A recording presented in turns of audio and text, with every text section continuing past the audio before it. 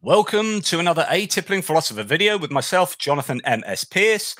Welcome, welcome, welcome. Really great to have you on board. We're going to have an interesting live chat tonight.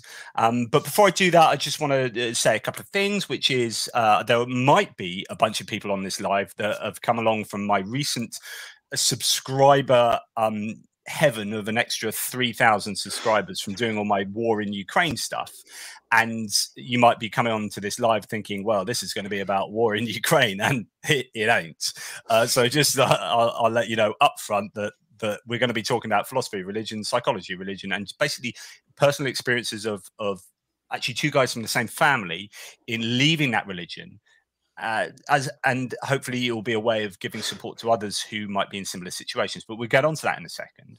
Uh, so I'm going to be speaking to a guy called Ricky, who's a who's a, a great you know supporter of this channel, um, and his son, uh, who and they both agreed to come on and talk about their experiences of Laestadianism something that I'd never heard of until Ricky brought it up in a couple of, uh, of chats um, on some of the lives I've done previously, and sort of brought that into the conversation. That was really interesting. I thought, well, here's here's something I've never heard of, um, and and that's always nice to learn new stuff. So anyway, without further ado, uh, welcome to all the new new uh, subscribers and people that might be joining this. Welcome to all, all the new uh, the new member. I've got Craig McElmore, um, who's a new member of the channel. Like to give props to Craig. Thank you for for helping to support everything I do. I don't know whether you are a war in Ukraine guy or a philosophy of religion guy, but hey, we're all one big happy family. Anyway, that's enough of like me talking rubbish. Let's get the guests on. So, my guests are Ricky there uh, mm-hmm. and Austin, his son there. Uh, thank you for coming on, guys. Uh, let's, I guess, go to Ricky first to just uh, lay out I guess what what you're trying, what you want to achieve by by our chat tonight.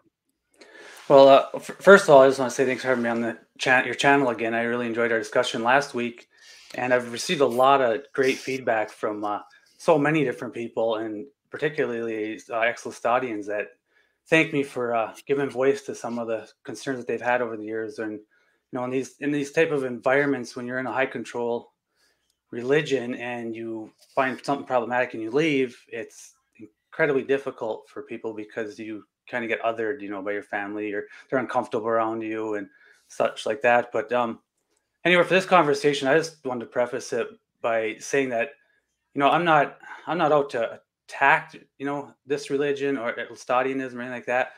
Um, what what I'd like is just if you could have people could have just open and honest conversations. And I and I understand when you know, when you're discussing religion, it gets, you know, it's a hot button issue, and people can, when you hear something that's problematic about your religion from somebody else, it can cause you to be defensive, and you might feel persecuted. And a lot of times, people feel like, you know, it's a persecution complex where you feel like if somebody's questioning you, they're out to get you, and that's not it. And you know, I just yeah, I guess there's a differentiation between a person and their beliefs. Yes, you know, and and if, if we if we are attacking Laestadianism at all, it's it's the beliefs and not the people necessarily who believe that. Although there will be people who hold to views that are pretty destructive that we are going to be talking about as yeah. well. But sorry, yeah, carry on, Ricky. Yeah, and when and the thing is, I mean, like it's typical. Um, I mentioned our last uh, last time I discussion too is that I've listened to hundreds and hundreds of stories and of ex ex fundamentalists, and I, I, mean, literally, I'm not exaggerating hundreds. I'm like probably five a week for the last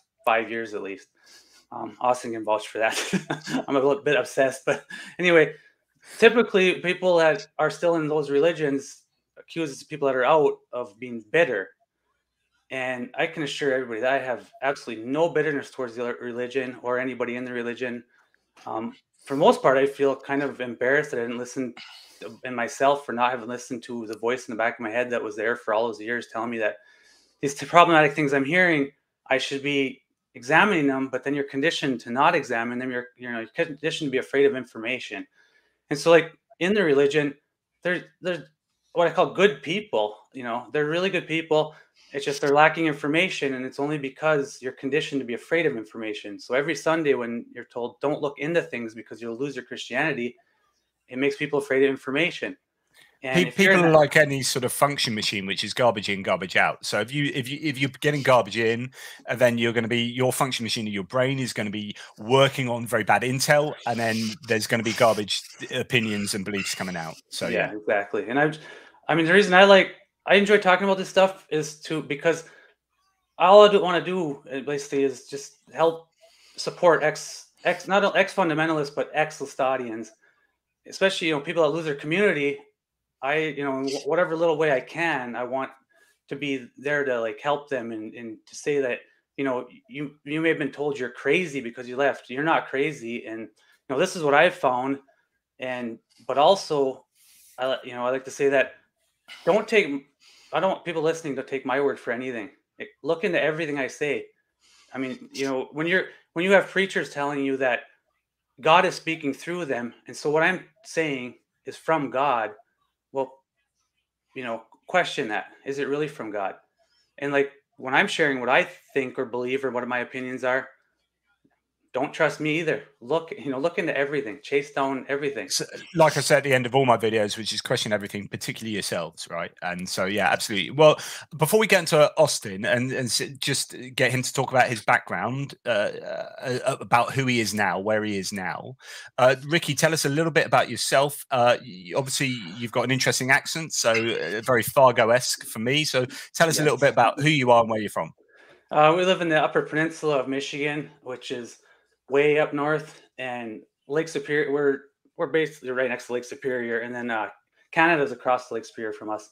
So, and yeah, in our region, you have kind of that Canadian esque uh, accent, which in the Upper Peninsula we call it a Yooper accent. You know, UP Yooper. So, and then yeah, in Fargo or you know Minnesota, it's a little bit different sounding, but we don't really say a boot like in Canada or something like that. So, but we're Good close. Yeah. Good for me. Uh, but brilliant. And so, what are you doing now? What where are you in your life now? I I've been working at the same company for uh, 24 years, and I'm a technical publications in a manufacturing local manufacturing company. So cool beans. yeah, it's it's been great. I, I mean, I love the UP. Besides, the winters do get brutal. They last six months, and we'll get like 300 inches of snow. But the summers are amazing. Brilliant. Well, Austin, so son of, um, uh, tell us uh, a little bit about yourself. Where where are you before before we go into the details of how you've got there? Where are you? What are you doing with your life?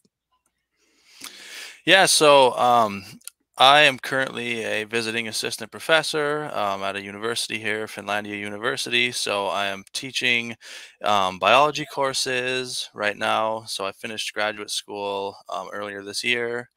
Um, so I spend my time between um, teaching classes, lab sections, um, and then also doing scientific research as well. So I do field ecology, um, that type of work. So my focus is ecology, evolutionary biology, um, with a particular focus on how human activity influences eco-evolutionary dynamics.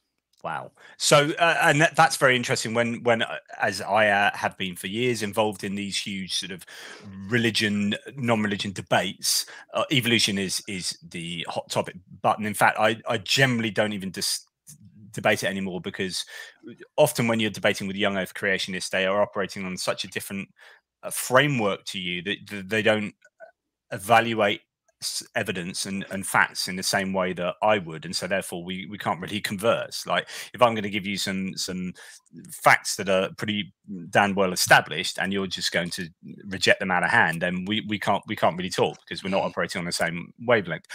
But for you, that's interesting that you are involved in a science, b biology, c evolutionary biology. So, how, what talking about your life up, to now? What what was that journey for you into science, and uh, did that have is is there any kind of intersection between science and what you believe now?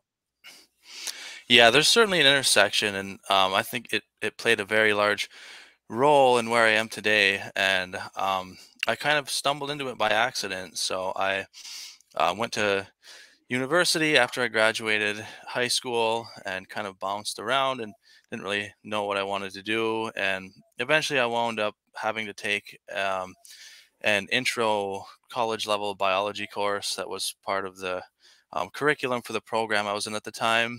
Um, and so I took it, not really thinking anything of it, like, you know, whatever. It's just another class I have to take. But the professor that taught it um, got me really interested in subjects that um, I hadn't really dealt with before or seen in my high school biology experience. So, some of those broader ecology, evolution type topics. And so, um, it really sparked my interest. And so, I, it kind of changed my focus and the things I wanted to do. And I just said, I guess I'm going to kind of take a leap and see if I can't get myself into science. Um, and so that was kind of what shifted my focus was taking that intro course and then the professor who taught that course ended up being my academic advisor as a graduate student so i worked in his lab and so we've developed a, a good um, professional relationship over the years um, so it was quite a journey that just started off with a, a chance being placed into a class that i had to take that kind of sparked that interest inspiring teachers. I used to be a teacher myself, and I'd like to think I inspired people, but I had probably bored them uh, more than inspired them. But hey, you know, there you go. I doubt that, Jonathan. Thank you, very kind. So, um, uh, what the devil is Laestadianism? Uh, who can give me a, a, brief history and then maybe an idea of how, what differentiates that denomination from any other given Christian Christian denomination? Uh, Ricky, do you want to do you want to start us yeah, off? Yeah, yeah. Um, Laestadianism it it started in um, up in uh, what they call Lapland, which is top you know Sweden, Norway, Finland, up in that area, and there's there's Sami Sami people there who most of them are like uh, most of them are reindeer herders, indigenous people, and as as typically happens, um, unfortunately, you know, European settlers came there at some point, and then around the 1700s or so, they started you know stripping the land and you're trying to assimilate the people and you're erasing their history and they destroyed statues they destroyed their drums you know all the sami objects. And so these people it, you know forced to try to force to assimilate them for you know hundred few hundred years or whatever. And um Laestadius he he was he was part sami. And so he, he was a he was a botanist and, and, and you know scientist basically. He wanted i mean i think that's what he would have probably preferred to do um, somehow he ended up getting into you know into the religion stuff and then he uh, went up they assigned him up there and up into the lapland. And so in about i think about eight in mid 18 1840s or somewhere around there he uh, had what he called an awakening where he's basically found true christianity. And so that's that's when the Laestadianism uh, you know started. And i, I have something here i could read i kind of give you an idea. Um, I'll, I'll try to keep it brief here. So i'll just read a portion of this. Yeah. So go go for it.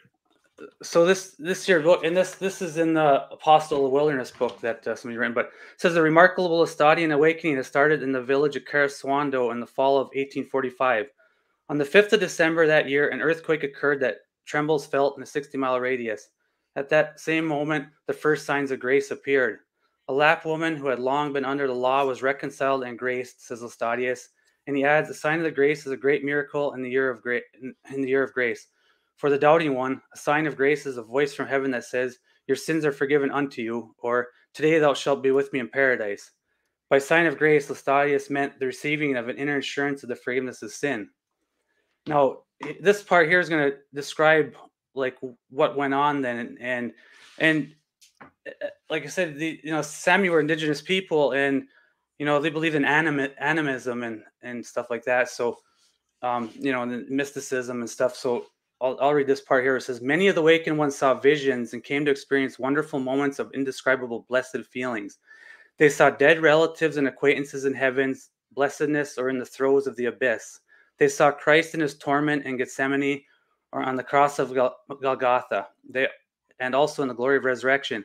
It happened that one smelled a sulfurous odor for those who were tormented in their conscience's agony, but it also happened that saw uh, light saw a light hovering like a halo over those rejoicing for, over their salvation. Even Laestadius related that he saw visions and heard voices. For example, he once saw a blaze of light streaming from the church roof of Karesuando. The same evening, he had seen black ghosts trying to put out the church's light, but they were not able to do so. The prince of darkness himself revealed himself in many different guises. One time as a dragon, another time as a bear that lay under his bed and tried to overturn it. that gives you an So idea. some, it- yeah, some interesting like exper- experiences going on there. yeah, Uh, I- I- just slight, slight uh, left field. Well, not left field, but connected comment here is that um, I always find it interesting that people who have religious experiences never have religious experiences about religions they know nothing about. And and I always think that's that's that almost tells you all you need to know about religious experiences. Do, you- do you know what I mean? Like Yeah. no one in an Amazonian rainforest sit, sits there after having no um, knowledge about Christianity or Islam and has a Christian experience where, where they're like given visions of Christianity and suddenly have some e- knowledge of Christianity. People only have experiences about that which they are told. And uh, honestly, that almost tells me all you need to know. But I don't know. What do yeah, I know what, what that reminds me of too. I mean, it's it's it's interesting. Like when you get in these social social s- structures, and you have like you see these studies of like everybody's in on the study except for one person, and they'll show them th- three bars of different heights, and then they'll show one bar over here that's the same height as one of those three, and everybody else gets to that's in on it says that though this bar matches that one and it's not the right height, you know. So it gets to the last person who's not in on it and they're looking at it and they actually go with what everybody else says and they know full well that bar doesn't match that one, but it's like the whole room said these two are the same height, so I'm going with it. Yeah. It's- it's, you know, you- yeah, there, uh, there's loads of really great um, research to suggest that people, uh, both in terms of swarming, so people just physically follow people when they've done loads of experience, um, loads of experiments within like halls and talking about fire, calling fire, and then people going to fire exits. But then the way that people swarm and follow others, like sheep, but also uh, and counterintuitively, also you know not rashly, they'll they'll just follow people. Uh, but also in terms of moral judgments can really skew just by feeling you have to copy other people. So yeah absolutely. Um so uh austin uh, what do you do you understand the religion particularly well? I don't know what your experiences are we'll come on to your experience of leaving it but for you uh, in how much you understand the religion what what differentiates um Laestadianism with other types of christian denominations Well, um, my dad certainly knows more about it than I do. Even he spent the most amount of time, a, a great deal of time on it. So I've actually learned a lot from him as well. Um, but I guess what kind of differentiated it um, from the other religions that I had been surrounded with um, was just kind of the um, extreme nature of some of the beliefs that the adherents held um, beliefs about the nature of the universe, um, beliefs about what would happen to their fellow human beings, things like that. Um, so it was very extreme, um, very uh, rigid uh, thinking, kind of like black and white. It's either this or that. There aren't really um, any in betweens. Very dichotomous thinking. Um, so that was that was one big distinguishing feature that um, I guess I didn't really see in as many um, of the other traditions that I had experienced. So, in a sense, I guess is is it true, Ricky, to say that the religion is maybe not greatly different in much of its theology? I don't know. By the way, I'm I'm kind of asking. Is it not greatly different in its theology, but more in the way it kind of organizes itself and the uh, the, the way in which it is as a community? Do you know what I mean? It's it's diff. I mean, it's different in its theology, where it's um. Not sure how I could. uh I think how I could describe it, but um.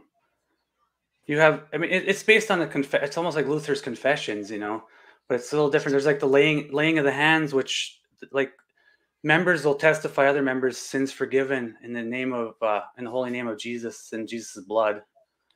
And so you have the laying of the hands and stuff like that. So So, laying of the hands being almost like the, the witness of the Holy Spirit, or the Holy Spirit, you know, being reborn. That that, they'll that yeah they'll, they'll embrace yeah embrace each other and confess sins to each other and then you know the the person will say well you can believe all your sins are forgiven in jesus holy name and his precious reconciling blood so, so actually, other, member other member other members of the church can literally forgive the sins yeah of you yeah, as you are telling them your deep dark.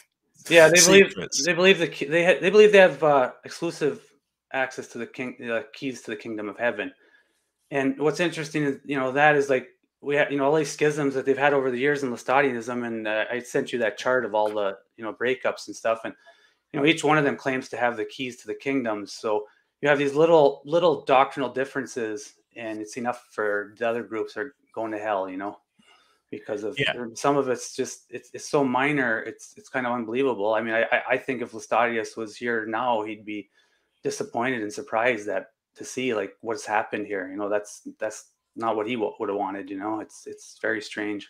But you get you know what happens is you get you get this i mean even if you get any guy that's a little more charismatic you know maybe a little different thoughts and few people want to go his way the other ones want to stay and then eventually they're all uh, calling you know each other heresy, and these ones aren't saved, and and so yeah, well, that that's really interesting. So, from the Wikipedia page on Laestadianism, uh, there there's the true Christian's doctrine, the, the true true Christians is like a thing. It's a, it's a it's a term. So the true Christians doctrine, which is another core teaching, concerns essential differences in lifestyle and beliefs between true believers on one hand and false Christians, sometimes distinguished as living faith versus dead faith, and unbelievers on the other. So it's almost differentiating true Christians, false Christians, and non-believers. But true Christians you know, Laestadianism, I suppose, as every denomination has, thinks it has the the that access to true Christianity. And in fact, uh, it says the next section is exclusion and inclusion among Laestadian sub subgroups. The leaders of the two largest Laestadian subgroups, the conservative Laestadians and the firstborn Laestadians, yeah, and the first. Oh, yeah. sorry. No need to cut you off. Yeah, the firstborn Old Apostolic Lutheran Church. That's the one that we are in, and that's I'd say that's just that's the strictest one, and it's probably the closest to what Laestadius, you know, to the actual original Laestadianism. So it says here, have for decades excluded each other and all other Laestadian subgroups from the kingdom of heaven, even though the denomination's core doctrines are nearly indistinguishable. So this is absolutely fascinating. And I'm going to tell you a joke, right? So the, the so if you're looking at the screen, all those different sort of Laestadian positions, like one thinks the other is just as like to hell as a non-believer effectively as far as i can work out which is really interesting. But there's a great emo philips joke and i mentioned this in our ch chat last time but i'm going to read it out to you. So here's a joke. It's a classic. In fact i think it got voted the best joke uh, in uh, the in a ship of fools poll. So uh, emo philips says once i saw this guy on the bridge about to jump i said don't do it he said nobody loves me i said god loves you. Do you believe in god he said yes i said are you a Christian or a Jew? He said, A Christian. I said, Me too. Protestant or Catholic? He said, Protestant. I said, Me too. What franchise? He said, Baptist. I said, Me too. I said, uh, uh, uh, Me too. Northern Baptist or Southern Baptist? He said, Northern Baptist. I said, Me too. Northern Conservative Baptist or Northern Liberal Baptist? He said, Northern Conservative Baptist. I said, Me too. Northern Conservative Baptist, Great Lakes region, or Northern Conservative Baptist, Eastern region. He said, Northern Conservative Baptist, Great Lakes region. I said, Me too. Northern Conservative Baptist Great Lakes Region Council of 1879 or Northern Conservative Baptist Great Lakes Region Council of 1912? He said, Northern Conservative Baptist Great Lakes Region Council of 1912. I said, "Die, heretic!" and I pushed him over. and that's so, uh, yeah, and that and that's exactly what it's like. And uh, I had mentioned our last one too about I you know reading before about a, a town that had like four different branches of of the Amish, uh, and you know each one of them pointed at the others that they're going to hell, and it's just slim doctrinal differences, and it's enough to say you're not saved, we're saved, and you got everybody pointing at each other. It's just it's just on you know it's just it's very sad because it causes so much division in, in you know families and so many people lose their community over just the most minor things. And it's heartbreaking when especially when families split down the middle and some go one way some go the other and then they wow, don't want yeah. to talk to each other you know? I can't i don't want to spend time around the heretics. And it's like what's the real difference here? Well we think forgiveness of sin should be this way. Oh we think it should be that way. And it's still similar but still enough to say yeah you're going to hell Wow. So, and um, we're going to get onto that now, sort of um, how uh, talk about the social, uh, psychological aspects of the religion as, as pertains to your lives. Uh, Chindi, who's a member and a legend, um, thank you for the super chat, ten dollars. That's so generous. I really appreciate Chindi. He's a lovely guy. Came on last time to speak with with yourself, actually, Ricky, when we had a, a members chat session. Um, I've never heard about Laestadianism until Ricky had spoken about it. I also do need a debate, and this is coming from Chindi, who's a who's a Christian.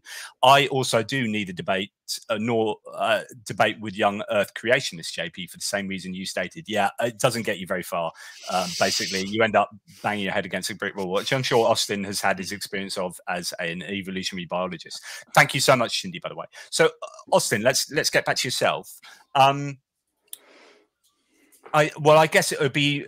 Mm, before we talk to Ricky about what led him to deconvert, uh, because obviously that happened first before you.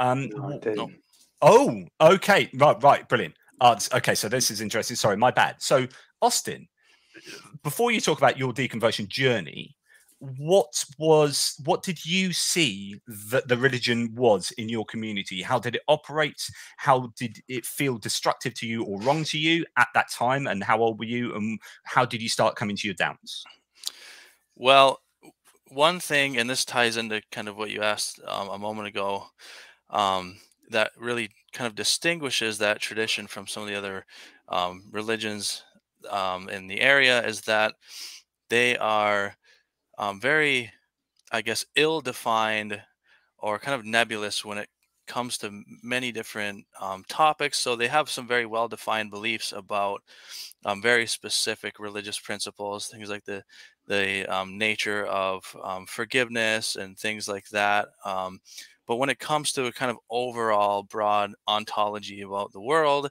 um, they they didn't really contend with a lot of that. you could ask five different church members about explaining dinosaurs or something, and you'd get five different answers. There was no um, kind of unified ex- explanation for some of these difficult scientific topics that were um, at odds with their beliefs. Which is, is that because there's no central, you know, like Catholicism has a central doctrinal approach to life, where the Pope says something, the, the Vatican says gives out these these papal decrees, and like everyone knows what as a Catholic you're supposed to believe. Is there, is there no kind of centralized understanding of that in in the Nestorianism? Well, I would say that there is because what the preachers say is supposed to be um, consistent with one another. So they're all supposed to believe the same thing and being of one mind, as they would call it. And um, these people believe that what the preachers say is actually God directly speaking through them. So it's not even actually them as a human being, it is just God using them as a microphone or a speaker to tell you what to think or what you're supposed to believe. So in principle, there should be some type of unified explanation for those type of things. But I think that it just comes down to avoidance and not even really contending with those topics at all until being pressed about it. Somebody has to bring it up to them and then say, well, how do you explain this? Or how does this fit into your belief system? At which point they have to formulate some type of response on the spot and then you get different responses every time depending on what kind of spontaneously comes into the person's brain. Wow. So um yes. and one one thing quick thing too relate, relate to like you're talking about the catholic church and the pope. Uh th- we have what they call the elders that are in sweden. So there's there's a group of men in sweden that um like the preachers in the us would uh they consult with them on any th- difficult topic that they couldn't answer. Right. Um, and uh, I think someone has just asked, where's it gone? Um, uh, here we go. So JW No says, uh, how many Laestadians are there uh, today and how do they have churches? Uh, so actually, if we go and look at, oops, not that one. Let's do that. And um, no, it's not that.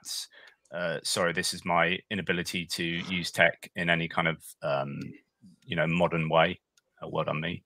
Uh, so I think this is quite an interesting little breakdown. This is just from the Wikipedia page. So you've got conservative Laestadianism, 115,000 people in Finland, USA, Sweden, Russia, Togo, blah, blah, blah, Kenya, Ghana, Gambia. So interesting, stretching to uh, a number of places. Firstborn um, uh, in in uh, USA, so somewhere less than 115,000 people, then 21,000 people in Little Firstborn group, and then it's interesting. It just quickly goes down to like Davidites uh, 40, uh, Gunderson group 30 in Norway, and then at the bottom one's Contio group five people in Finland. it's just fascinating. Yeah, there's, there, there's been there's been more splits recently too. So, um, so like the chart I sent you wasn't updated. There's there'd been another one I guess in um, I think in Minnesota there was a group that split recently too.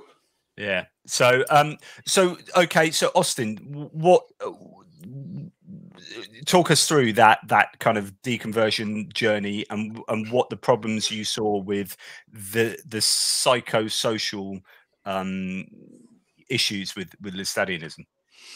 Yeah. So th- there were really many different things that occurred at a number of different periods in my life. Um, so I, I would say that those initial seeds of doubt were planted at a very, very young age. Um, so ever, ever since I was a, a young child, I would kind of wrestle with and think about kind of what people kind of refer to as the big questions, right? Fundamental questions about the nature of the universe and our existence and our place in it. And um, I would ask people about about things, right? Um, you know, well, if if God created everything. Where did God come from? Or something like that, right? And the response that I would get from the adults in that community was very troubling to me because I would expect some type of reasoned response or something, but it would be kind of angry like what are you even doing thinking about that why are you asking a question like that you don't ask stuff like that and so that set off red flags at a very young age um, because i thought well why is it necessarily wrong to just wonder that or just ask that right? It's okay if you're an adult to just say, "Well, I don't know," or have or come up with some type of response rather than be um, met with anger. So I think even from a young age, I would kind of think of those types of things, and the fact that adults who when you you know when you're a child you think adults they know everything right they have it all figured out and i can trust them and rely on them to give me an accurate description of the world i live in so that i know what to do but the fact that the adults around me were meeting these questions with anger, um, and they would appear to be uncomfortable by them. It kind of made me feel like something was off or something was was wrong, and and made me have a doubt for it because um, having that type of a response seemed very suspicious. Um, suspicious to me, and just the kind of some of the big kind of theological ideas started to seem suspect um, just because of how people responded to questions about them. What what give me an example of of a couple of the issues that that played played on your mind? Well, I mean, even even going to the existence of of God in general. So, um, just the entire idea of the monotheistic concept um, that you know many religions have today. Um, there was always kind of something about that that didn't seem quite right to me, um, and a, a big a big part of that was just how poorly people were able to defend it, but especially within the church itself, because um, the things that the preachers are saying, again, are believed to be the actual words of God Himself. And so, as a child, I would think, well, if this is actually God speaking and not just a human being trying to think of a response, why is it such a poor response? Right? Why is this such a bad answer? Right? I'm I'm young and I can tell that this is full of holes and and frankly kind of silly. So why would why would God either intentionally try to mislead me by saying something foolish or not know the answer to the question? Yeah, uh, presumably he wants me to know that he exists and then um, remain a member of that church so that I can be saved because they also think that he wants people to be there in heaven with him. So in principle, he should give me a correct response or at least prevent me from um, losing my faith. Yeah, and if he was gonna, if he was to give you a, a response that was uh, inadequate, I mean, the consequence for that could be going to hell. So why would he be a trickster like that? You know? Yeah, yeah. And what what for you, Ricky, was some of the? I mean, because we have we haven't talked about some of the, the sins and how conservative the religion is, and we'll get onto that in just a second. Yeah. But what what were some of the philosophical uh, challenges, or you know, things that that, that made you sowed seeds for you, Ricky? Well, uh, like in our last discussion, I mentioned too that I was I was really young when I I realized I don't I didn't feel comfortable. Like I was a square peg in a round hole. But it's it's amazing like what conditioning can do to make you stay in an environment, especially since I didn't leave into my 40s. You can stay in an environment that you know you're half your brain's telling you that there's so many problematic things here.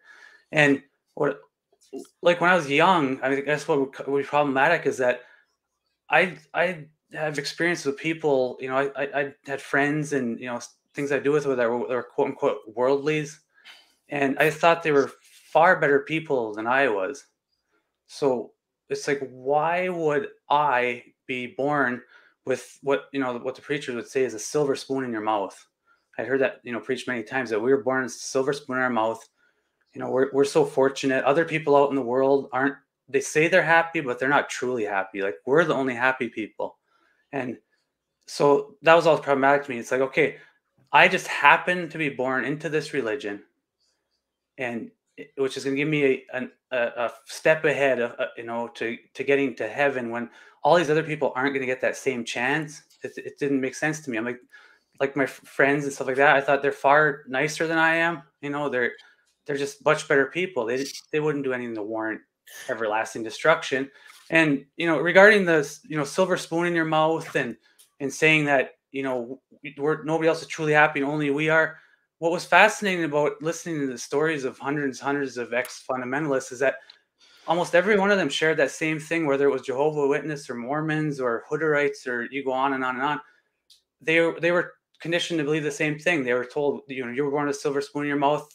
Lucky for you you're born into this church because all the other churches aren't saved and you know, you were just so fortunate. And I'm like, they all heard the same thing. It's just like. Let, let me take this opportunity to spam uh, the feed with uh, my book, 30 Arguments Against the Existence of God, Heaven, Hell, Satan, and Divine Design. That's my latest book. And the reason I'm spamming that is because exactly what you're just talking about. There's several chapters in here about the unfairness of God uh, um, and uh, God's hiddenness, but also uh, God's distribution of humans around the world. So it's like, what? how come there are um, Amazonian tribespeople born in 5000 BCE that that have no access to the revelation of, of, of, the true you know christianity or god or whatever uh, you know how, how does that happen? So this whole silver spoon thing which is like why does god allow people to be born in riyadh who are definitely going to be muslims that if they had been born into the same church area as you in in your hometown ricky and austin that they would have been Laestadians no problem. This is in philosophy this or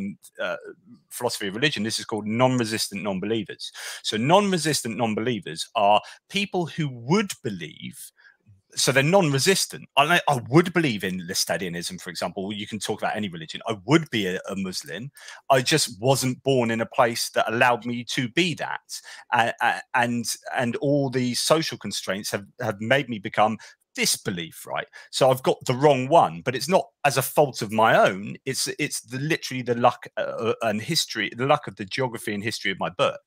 So uh, that's a really is, you've you've summed up that argument uh, perfectly well. But it's a brilliant philosophical argument. Yeah, and I'll, I'll I'll share with you the church narrative it is on that, and I also have a story to share about a, a Mormon missionary that was fascinating too. But for the church narrative, it would be every single person on this planet at some point is going to have the opportunity to know what you know the real Christianity, and I mean, really? and, yeah, and I mean, I, I, don't want to. I mean, I don't mean to laugh because I don't want to make people feel bad for their beliefs or whatever, you know. But I mean that that isn't that is one of those things where you call mental gymnastics that you you wonder when when people say that and, and when they hear that, like how many really believe that? Yeah. Because I know when I heard that in the church, like I couldn't like the you know even with cognitive dissonance setting and everything, I it was like no, like no, it just it's and people, you know, when I've questioned or when I've questioned people that, which I discussed in our last thing too, is that I've never, I've never went out and talked to anybody from the church and tried to deconvert them or tell them what I think or anything. I, I never went out to talk to anybody. I would only respond to people that came to talk to me, which might have been six to eight people total after I left. And I'd ask, you know, ask that question, you know, and they'd say, well, no, you know, it, everybody's going to have their opportunity at some point, you know. And I'm like, well, how many people from Brazil have ever made their way up to the UP of Michigan to come to our church? I don't know of any. And it's so like, well, if, if they're truly praying to God, they'll come. It's like, so their prayers aren't real. They're not trying hard enough. I mean, I mean, come on. It's yeah, as, those sort of things. You're right. It's it, that annoys me because it's real hand wavy. It's like, yeah, yeah, yeah. Yes, everyone will get their chance. Everyone will get their chance. Okay, right. I, I hear you've said that. It's an assertion how do they get it? How does that work? Like, let's delve a little bit deeper, yeah. and then I guess that's the time when they just get angry with you. And, and that's the that's the thing is like you you'd ask the you know you ask the preacher this, and and I remember asking the preacher this, and you'll get that answer that they'll all have their chance, and that's that's it. Like that's end of discussion. Now they're all gonna get their opportunity. You know, you got to believe that, and then that's the end of it. And you walk away still thinking, no, it's, it's just, but you got to accept it because God's speaking through them. Which I still didn't think that God was speaking yeah. through them because I'm like, that's that answer doesn't carry any weight. But then, as I was saying to it, I want to share a quick story about this Mormon missionary I read about. He went on a mission to, like I said, to some somewhere in jungle or something, met some tribe. They could not understand the concept of Jesus or what was the need for Jesus. These mm-hmm. people were incredibly happy. I mean, he was blown away by how happy that whole tribe was. They had no so, need for any religiosity. I and think that Mormon referring... came home and he left the religion. He's like, yeah, this doesn't make any sense. I think you're referring to Dan Everett, and you're referring to the tribe is a Piraha tribe. That probably and, is it. I read a few years yeah, ago. So, yeah, and who who are I don't think some people challenge this, but they're famously one of the very few uh, tribes or groups of people who are sort of naturally non-religious. Uh, uh, I think they're more animistic, but but um, uh, but he, yeah, he they were like really happy, and he like really admired the way they lived, and then he deconverted as he went as a missionary to try and mm-hmm. convert them, and mm-hmm. he ended up deconverting as a result. So yeah, sorry, I interrupted you though, but um, let, us okay before we continue to delve a little bit into your own personal journeys let, us get a, a handle on how strict Laestadianism is in a, in the social context. Um, so let's go to the young young'un here, Austin. Mm-hmm. Like uh, as a as a modern, I don't know, uh, person. I don't know whether you're a millennial or what. Uh, I get confused about all these terms. But how how how does Laestadianism jive with modern life? How is it is it a bit like Footloose, the film? Uh, you know. well, um, you know, it, it's very strict, but also people don't necessarily adhere to the rules to the degree that they pretend to. I think. Um, so when I was growing up, every young person did a whole lot of things that you're not supposed to be doing, but then just kind of kept it a little um, on the down low. So you just didn't talk about it a whole lot, but people would go and go to the movie theater and see movies or listen to music. Um, so, well, explain that because obviously a lot of the viewers won't understand this. I mean, you say that yeah, like so, as if that's a bad thing to do, but that literally right. was a bad thing to do. So they don't they don't advise people to consume media from um, what they would describe as the world, so the outside world. So things like movies, television, um, music, any of that type of thing, entertainment in general, really. It's just kind of a, a pleasure of the flesh. So it's not something that you need to be engaging in and you should actively avoid because it is going to um, cause you to commit um, sins or have bad thoughts or things like that. So you weren't supposed to go... drink, drink and tattoos. Yeah, no, no tattoos, no alcohol consumption. You want me to read a little list that I've written here? It's, this doesn't cover everything, but it's a few things just to get just to spur on some more thought here. Yeah, because uh, look, uh, before you do, like, I'm excited about this uh, religion. I want to join. This is going to be easy. This is going to be like wholesome. Uh, let's see what what I can do and what I can't. And so here, here's a list of some things that are either sin or else they would call disobedience, which isn't technically sin, but it's something you should still repent of because you're being disobedient to the you know advice of the preachers. But anyways jewelry music um, women shouldn't wear their hair down. Um, men shouldn't have beards. Jonathan you're going to hell. Um, that's sideys man. Yeah. Oh okay. Well it's still that's too much facial hair. Um, women should shouldn't be wearing pants and what the elders from sweden would come here i you know every four years ish or so and um, when I was still in the church, and when they were here like four years ago, they preached quite a bit about women's apparel and stuff. And I remember one of them preaching that there is never a time where a woman should not have a dress on, ever. And they also preached about open-toed shoes shouldn't be worn at church, and they also preached about a heel shouldn't be high enough that a mouse could crawl under it. So I mean, so I, I had Bruce these, I had Bruce Gerencser on uh, as an interview a couple of about a month or so ago, and he was talking. He was a pastor in like a bunch of different churches, very conservative, of, but not not Laestadianism. Uh, but he was talking about how pants or, as we'd say, trousers on women was like a massive no no, like just in in loads of the churches he used to go to, and it's just like Yeah, and then uh, women don't cut their cut their hair.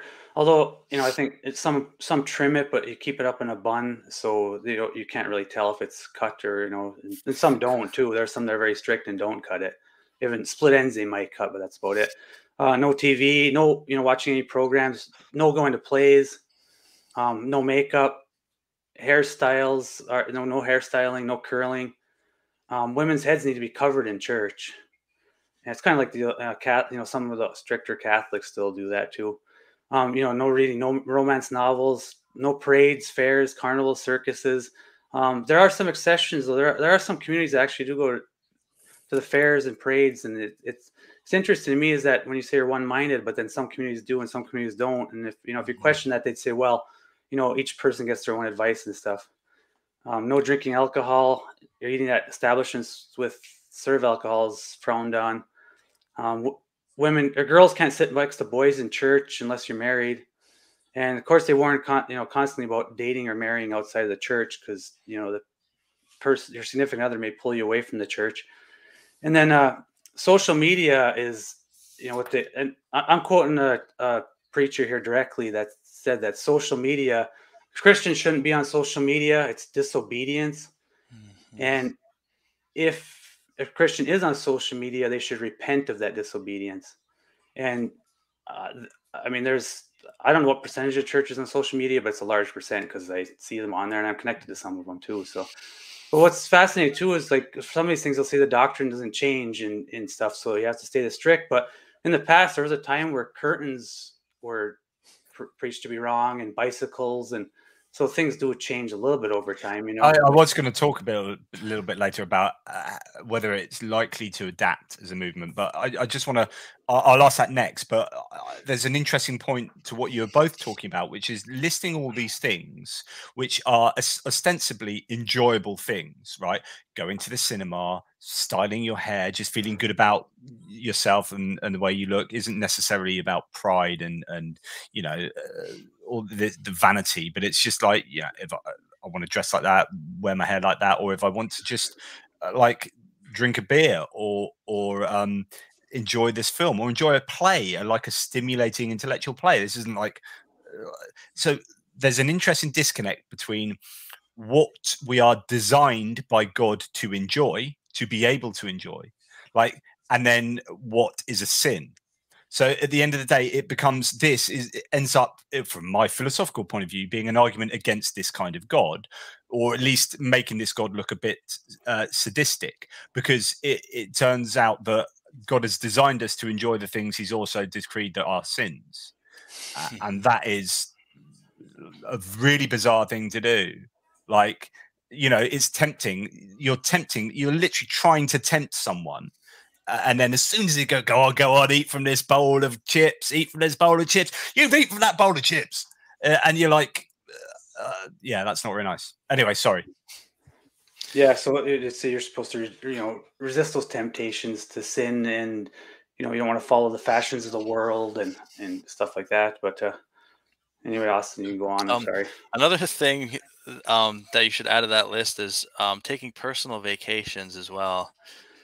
Um, so that was another thing that was advised against. Um, you're not supposed to go on like a family vacation unless you're traveling for a church reason.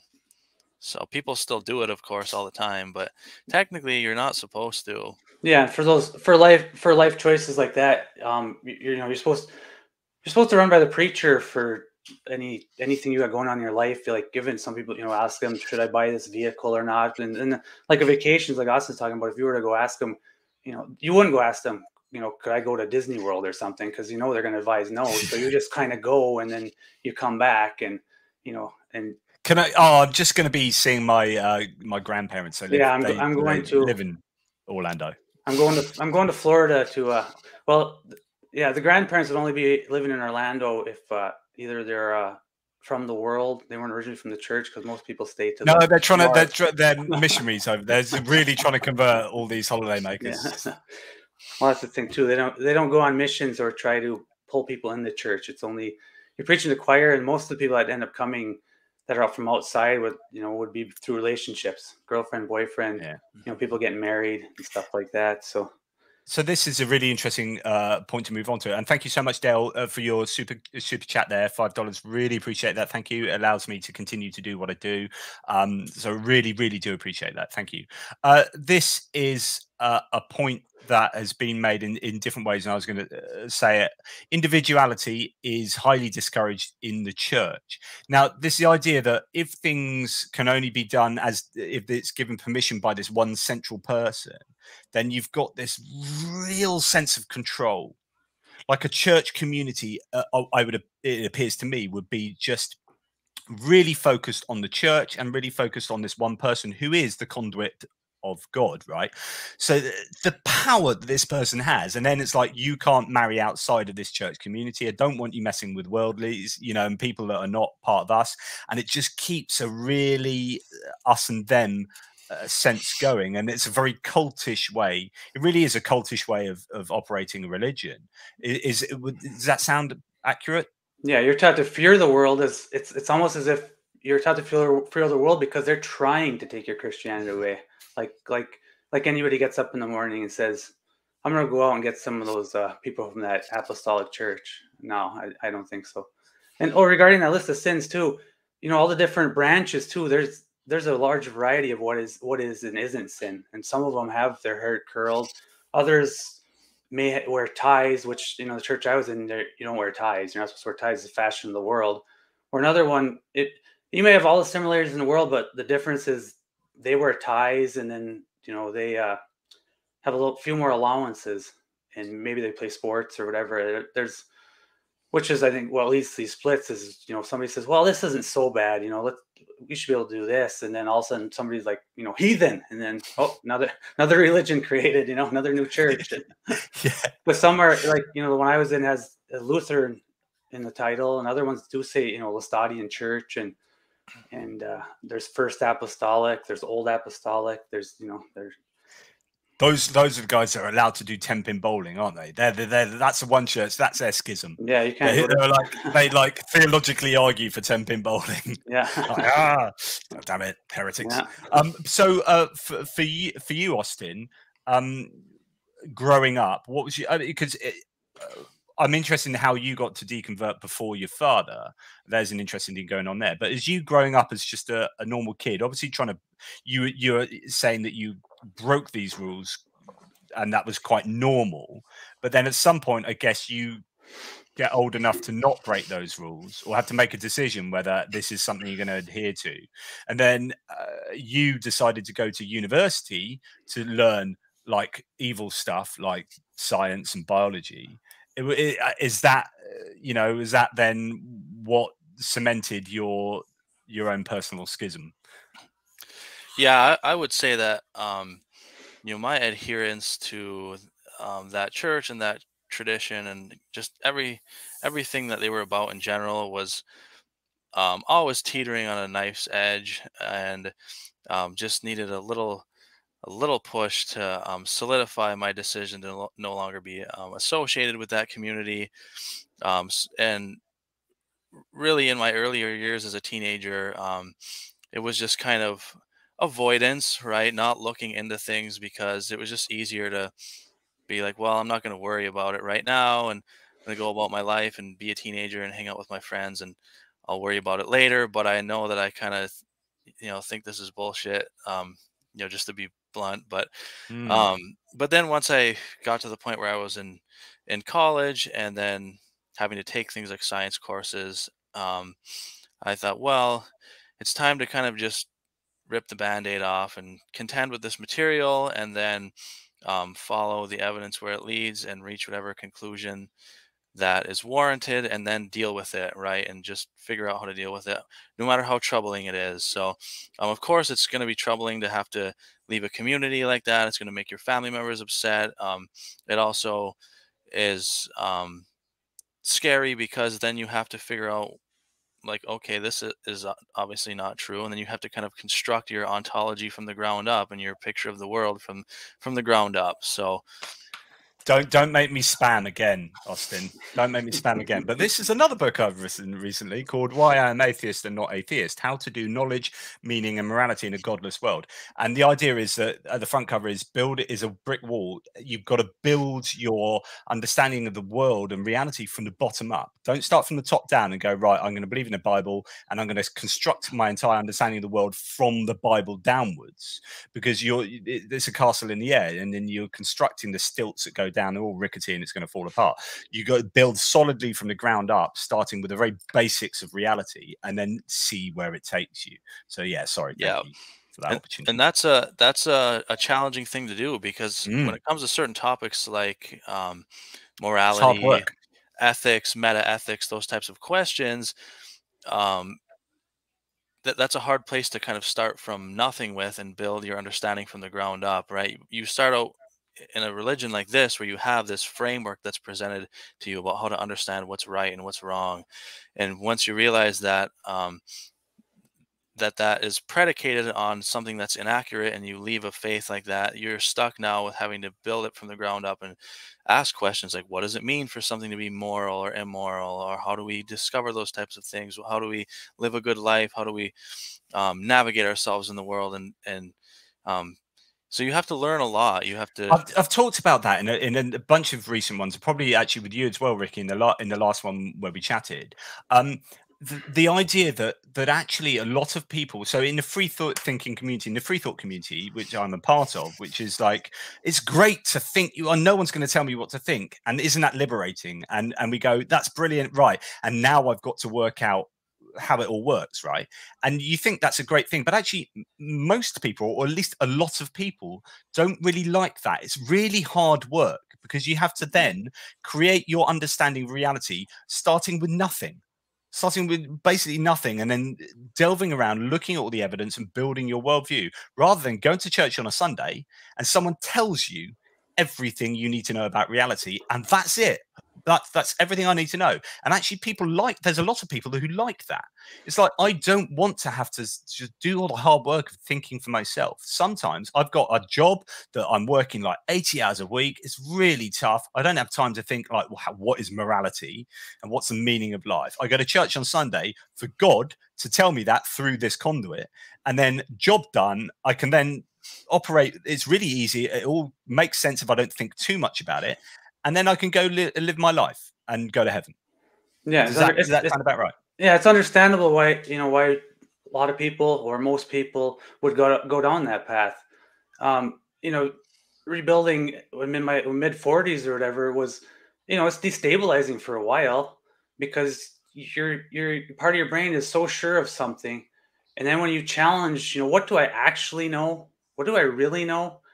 And you mm. start realizing you don't really know much of anything. And you, like you said, you start building from the ground up.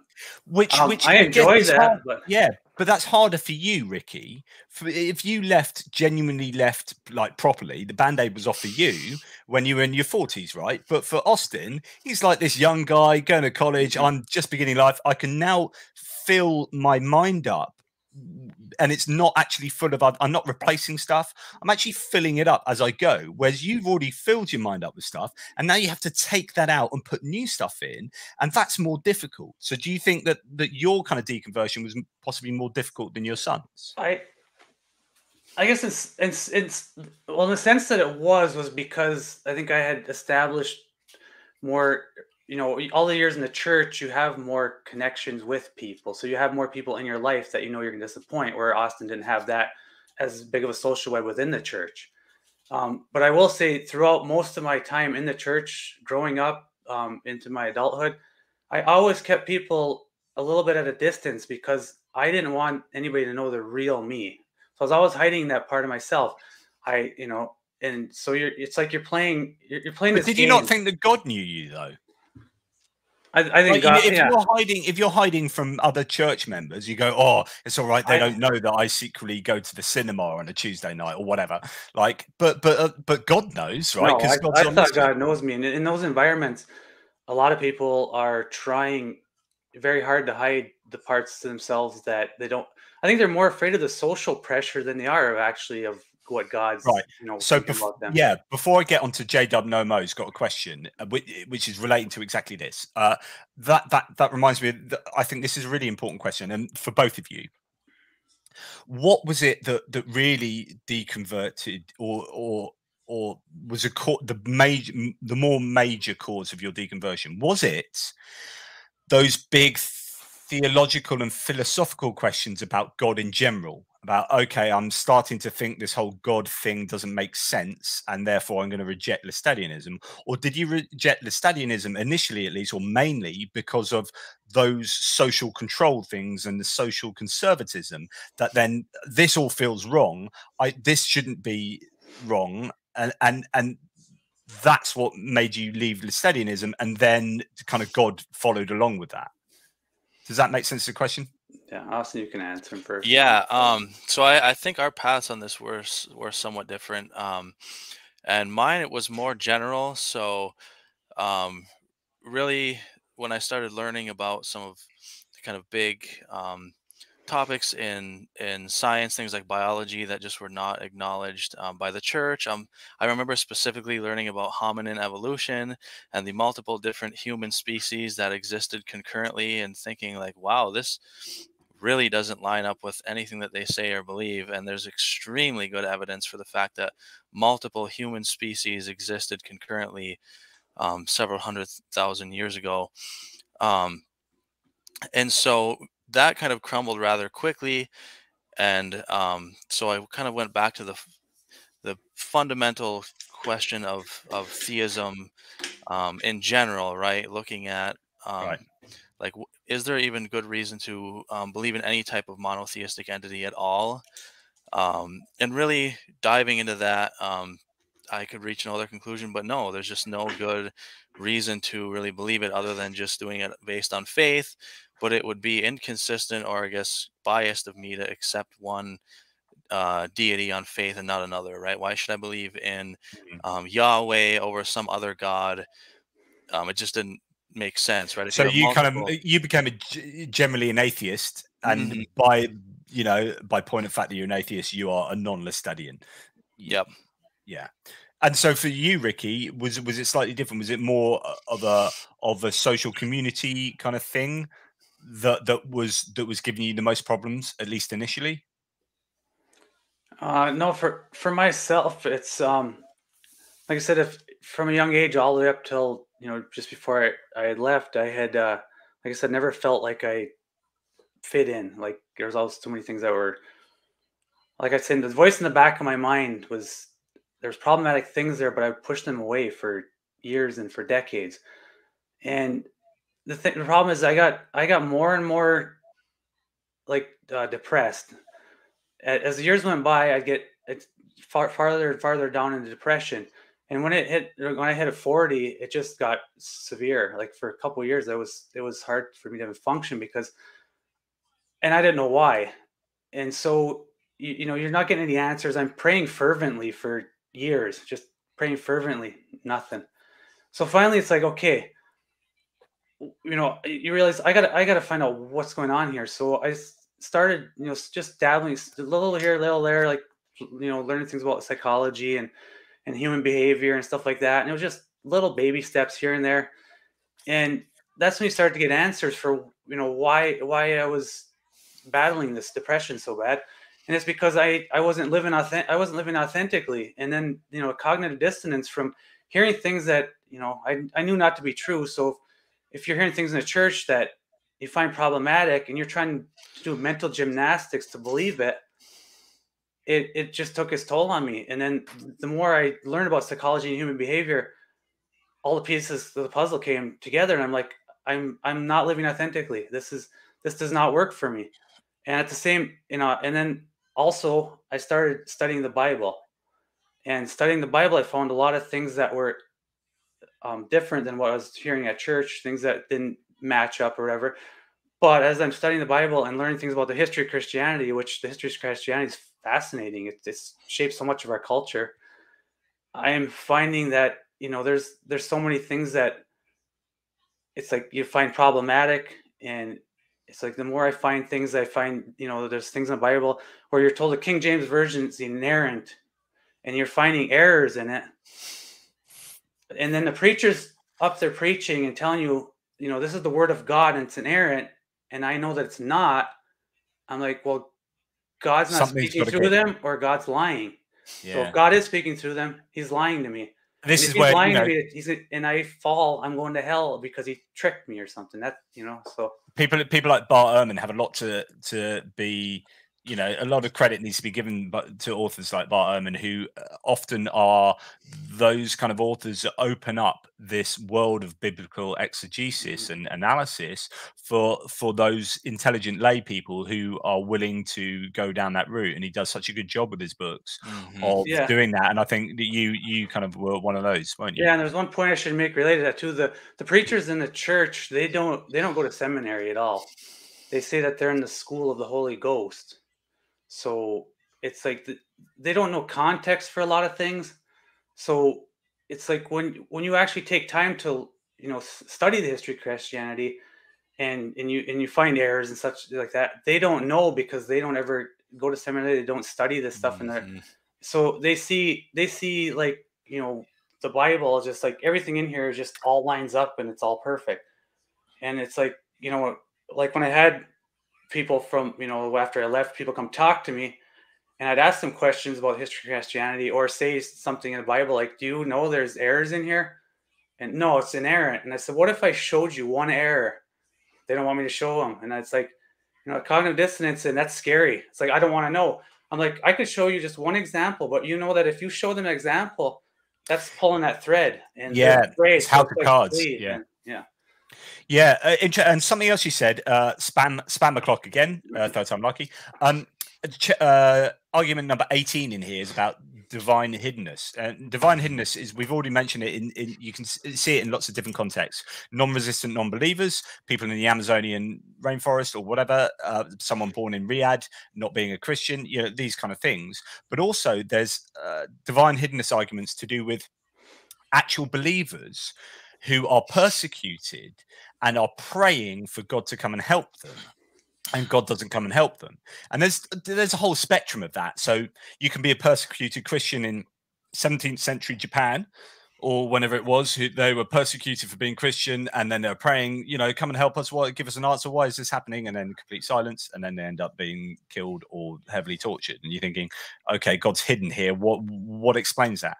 But then you get the other end of the spectrum, which is what you were talking about, Ricky, which is, hey, I'm really depressed here. Things are, I, I, I don't have the answers to a bunch of questions. I'm praying really hard to you, God, for the answers, and you are not. You, there's just complete silence here.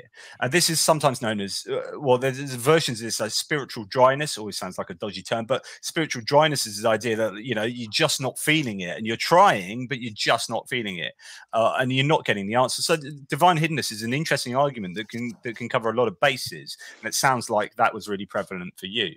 Yeah, and, and and you could say that you could say that well, God answered my prayers and told me to turn to psychology, but then that pulled me out out of the church. So then it's like you could say to the people at church, maybe the devil's deceiving you, and you're in a man-made religion, and you should be somewhere else. You know, it. it there's many So- avenues you could go down to that one. Yeah. So you've got this really strict church that has very, very um, conservative ideas about everything. Uh, and in fact, um, what I think was it Trude earlier on said, I might have to rewind a little bit. Where was it? Uh, la, la, la, here it is. Uh, so Trude said it is paradoxical uh, that a system that strongly defends masculine dominance simultaneously portrays boys as so weak that they easily allow themselves to be led out of salvation and into temptation by sinful girls in short skirts. Uh, and but and and you haven't mentioned it, but there, there is a very much a a, a sexist. Do- domineering side to the religion, uh, but we've got this controlling, centralized network and community um, that that speaks on behalf of God to you as a layperson, uh, and probably is if you are at church telling everyone your deepest, darkest secrets so that they can give you forgiveness. So everyone knows your your sins, and it's all a bit dodge. And then I presume a bit like maybe the uh, Mormons, where you know all your businesses are intertwined and like everything's kind of a bit in house. I'm, I'm guessing a lot here. You know, Yeah. correct me if I'm wrong. No, you're on the right so- so J Dub No Mo, who's a former uh, Jehovah's Witness, saying it's really similar to Jehovah's Witness by the sounds of it. Do they shun and or kick people out disfellowship like JWs if someone disobeys and it's known? Or what's the discipline like? And thank you so much for the super chat question, J Dub. That's a really good couple of questions there. So, what's it? Do you get kicked out? Um, or are there just not enough people in these churches that you can't afford to kick people out? And and what's the discipline like in these communities? They they don't shun no they don't shun like the uh, Jehovah Witness do. Um, it's it's it's it's a little like it's more more like you're kind of dangerous to be around. So like if I were to you know ask somebody to come to my house, they wouldn't come, but they'd say you're feel free to come to my house, you know, because I usually say like don't go to the world, but you can have the world come to you. So if I was to right. call up an old friend and say, "Hey, you want to come over?" He'd say, "Well, why don't you come into my house?" Mm-hmm. They wouldn't, you know, come here. is um, that is that the first sign that you know that you're in you're in the bad books of the community? You're like, "Hey, Jim, yeah. do you want to come um, mine for a cup of coffee?" You're yeah. like, uh, "How about you come around mine?" I'm like, oh, "Yeah, is it me? Exactly. Oh, it's me, isn't it?" Yeah, and kicking kicking people out. Um, no, I've I've never haven't heard anybody like being kicked out um, what has happened, you know, not too often in the past, but there have been preachers that have, you know, you're when you're you're asked by the congregation to be a preacher. So it's it's kind of like the Mormons where they have their bishops and all that. It's like you're asked, but you're not allowed to say no. When you're asked, you're doing it. And so there have been preachers that, you know, it's very rare, but have had a personal issue where they kind of get dismissed or like or I know one guy in the 70s that started having meetings at his own home or whatever, and that was frowned on, and he was just like, "You're no longer a preacher," and then he had a split and went and did his own thing or whatever. But you know, so hey, can I jump in on that for a quick yeah, second? Because yeah, yeah. this reminds me of a funny little anecdote, and um, not to not to put my dad on blast, but um, I remember put me on was, blast. I got thick skin. I got. I remember shoulders. when I was um, when I was younger, I actually asked about that specifically, and I said. Um, something like, "So God picks the preachers, right?" And he was like, "Yeah," and I was like, "And God knows everything that's going to happen already, right? Like in the future and stuff." And yeah, yeah, God knows what's going to happen and stuff. So I was like, "Has any preacher ever been dismissed or left or stepped down?" And um, he was like, "Yeah," and so I was like, "So why would?" God appoint a preacher ahead of time, knowing that he's going to step down, and not just appoint somebody that's going to be um, better and ma- maintain the position. Like that doesn't make any sense. And I, I, can't remember what you said, but it it was probably, be, probably the standard answer. We don't know why God does the things. It was does. something, yeah, something. Eat your like, vegetables and be quiet. yeah, something, something so like that. This, this, uh, these are. Don't get me started, Austin, because I like these arguments about divine for, divine foreknowledge. Right, the uh, the idea that God is fully omniscient and knows all future events, including freely will events. If you believe in free will, I don't believe in free will, but forget that. But Divine foreknowledge is the single biggest thorn in the side of God because it makes no sense of virtually everything that happens. Because you have to then start explaining all the bad, terrible things. Like, well, God knew that was going to be, and then didn't do anything about it. And in fact, designed it such that that would be the case. Mm-hmm. So, like, God designed the world such that this priest would be elected or made a priest, and then does all this dodgy stuff. Is like that is God's design. Literally, He knew that would happen and created the world such that that would happen anyway. Yeah. So yeah, that's, that's the thing is if you kind of accept those those axioms, you know, God knows what, what's going to happen, created everything such that it would happen that way, and had a choice as whether or not to create it another way, then you can't really wriggle out of his responsibility for any given situation. Yeah, and then you it, it you know that stuff like that always makes you think like why why is it that I feel like my moral standard for a lot of those things would be higher than God's then, you know? Like there's so many things that are allowed to happen that I could myself could never allow to happen. So it's like, you know, why would you worship a God that's willing to allow, you know, children to be molested? And it's like if I had the power, I would never allow that, you know. It's yeah. Yeah, and then you're talking about like skeptical theism as the go-to like get out of jail free card. So skeptical theism, for, for, those who don't know, is this idea that we either can't know or don't know the mind of God, and so therefore any terrible thing from stubbing your toe in the morning to genocide or 230,000 people dying in a tsunami is like, why did I stub my toe? Why did 230,000 people die in a tsunami? Well, God moves in mysterious ways. We don't know. There could be a reason, therefore there is a reason, and don't think about it too much. Just God moves in mysterious ways. Yeah. Okay Thanks, Dad. Yeah, and growing up in a strict environment where every every Sunday you're you're you're taught the fear of hell. I mean, it, it's it's conditioned into you. It's it's it's just repetitive.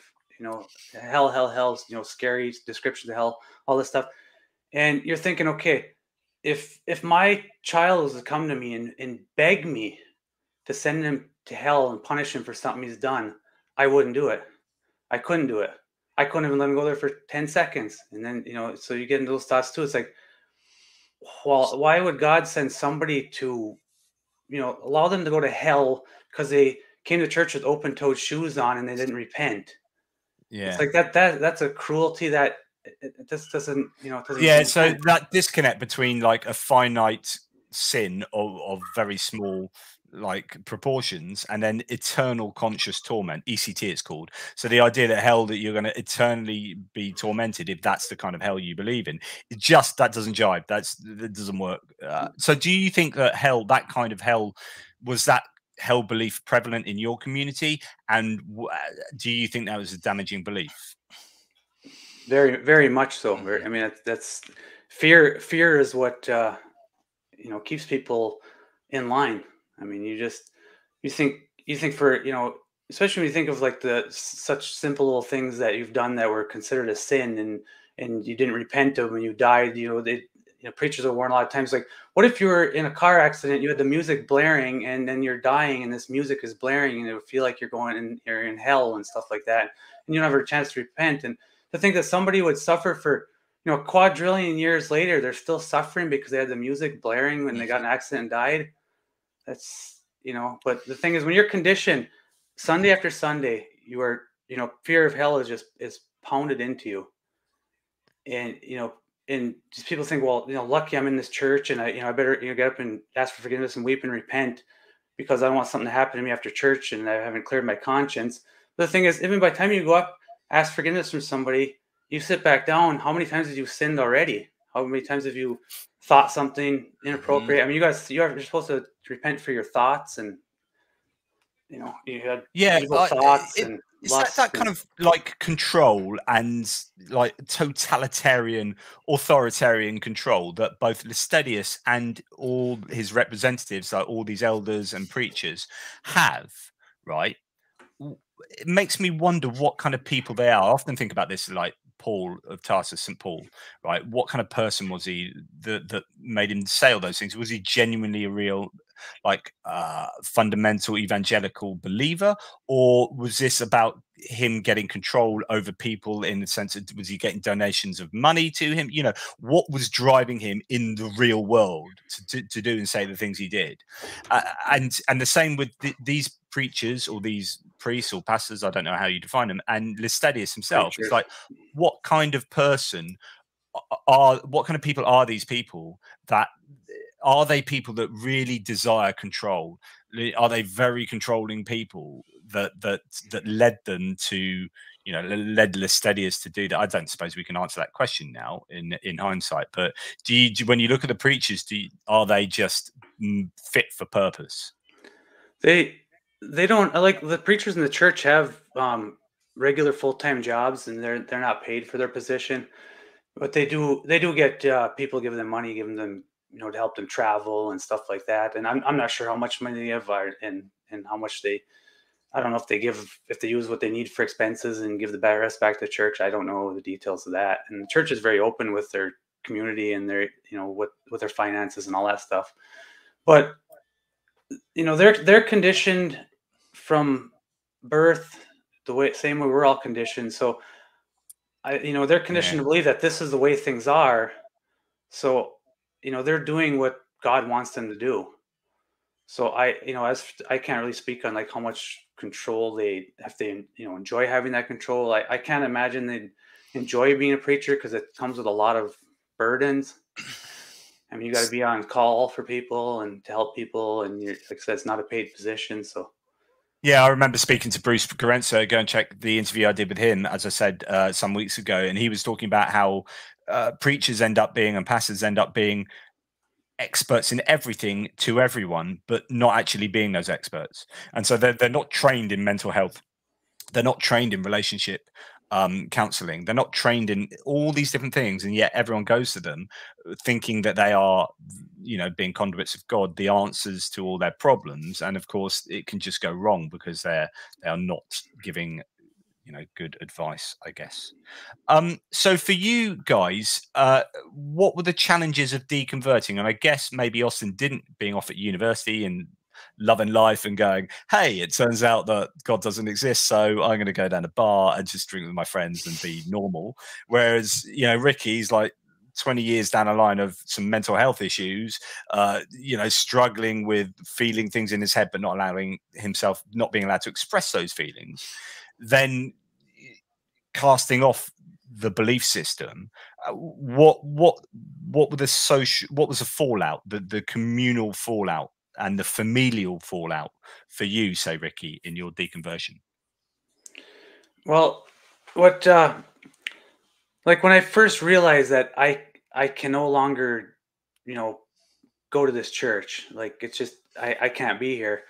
Um, at first, well, I should say at first when I realized that, you know that I can no longer be a part of it, or I was no longer a believer is a better way to put it. You know, I was concerned about okay, my wife as far as I know, is still a believer. And so I had thought about it for, you know, several weeks, like, you know, trying to think what what's the best way to handle this. And I got to the point where I thought, you know what? I'll just I'll, I'll I don't want to disrupt I don't want to pull the rug out from under her. I don't want to disrupt our home or whatever.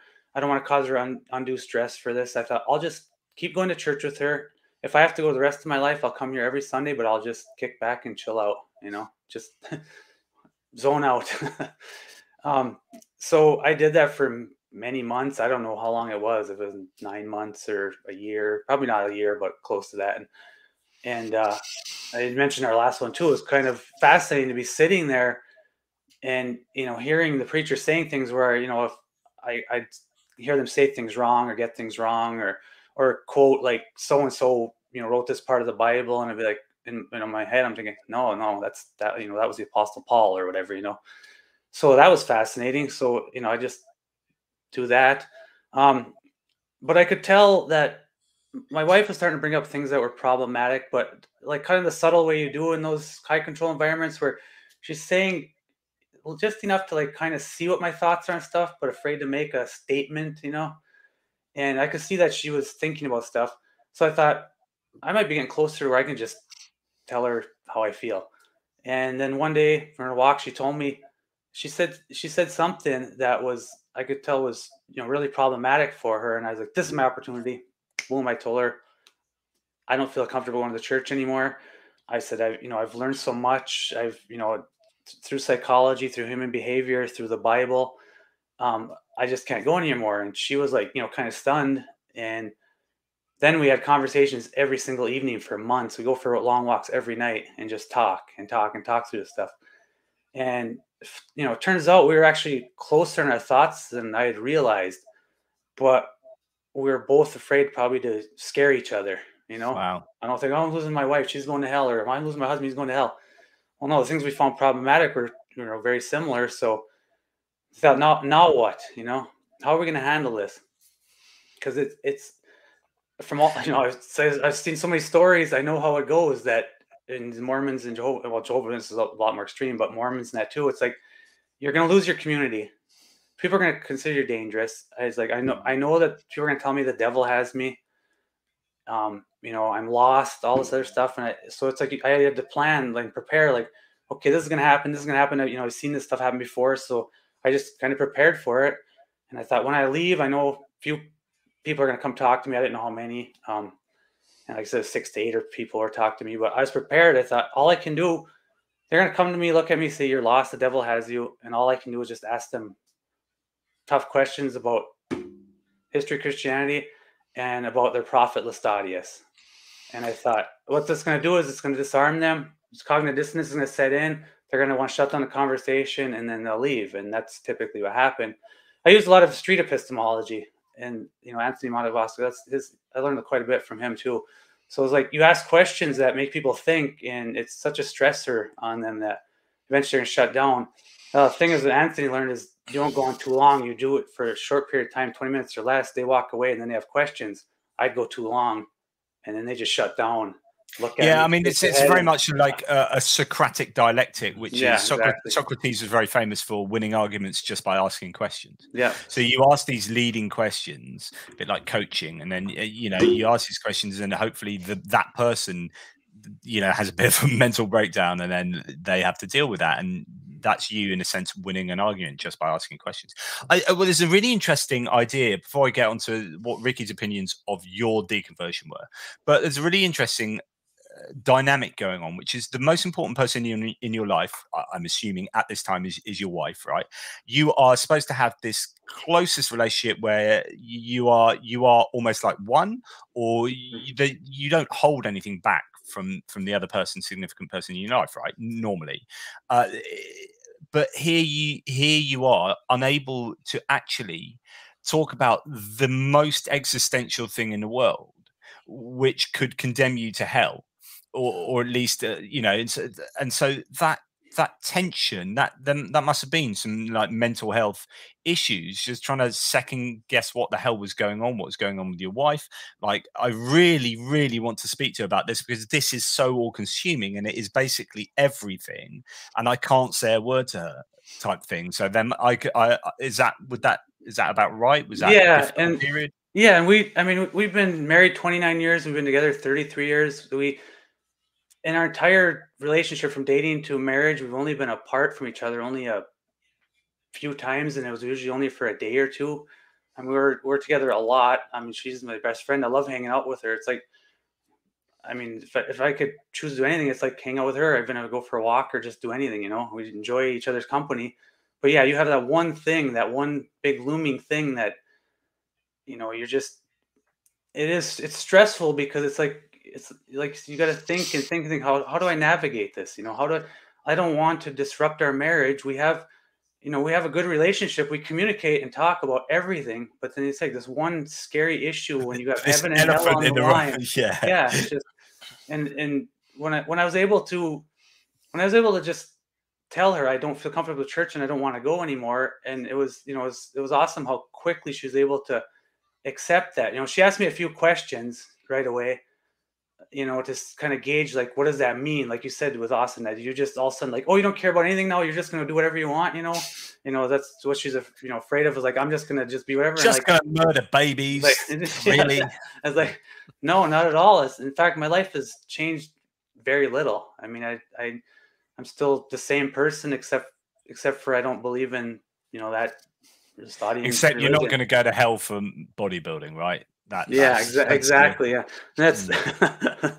that's something else we can talk about, talk about later. That's uh, fascinating. And uh, when you when you had asked earlier too, when you were talking about like for Austin, what it was like when when he left and how our experiences are different because you know he's in college, you know, and when I did it, I'm in my mid 40s and stuff like that, and like how it was different, you know, leaving that.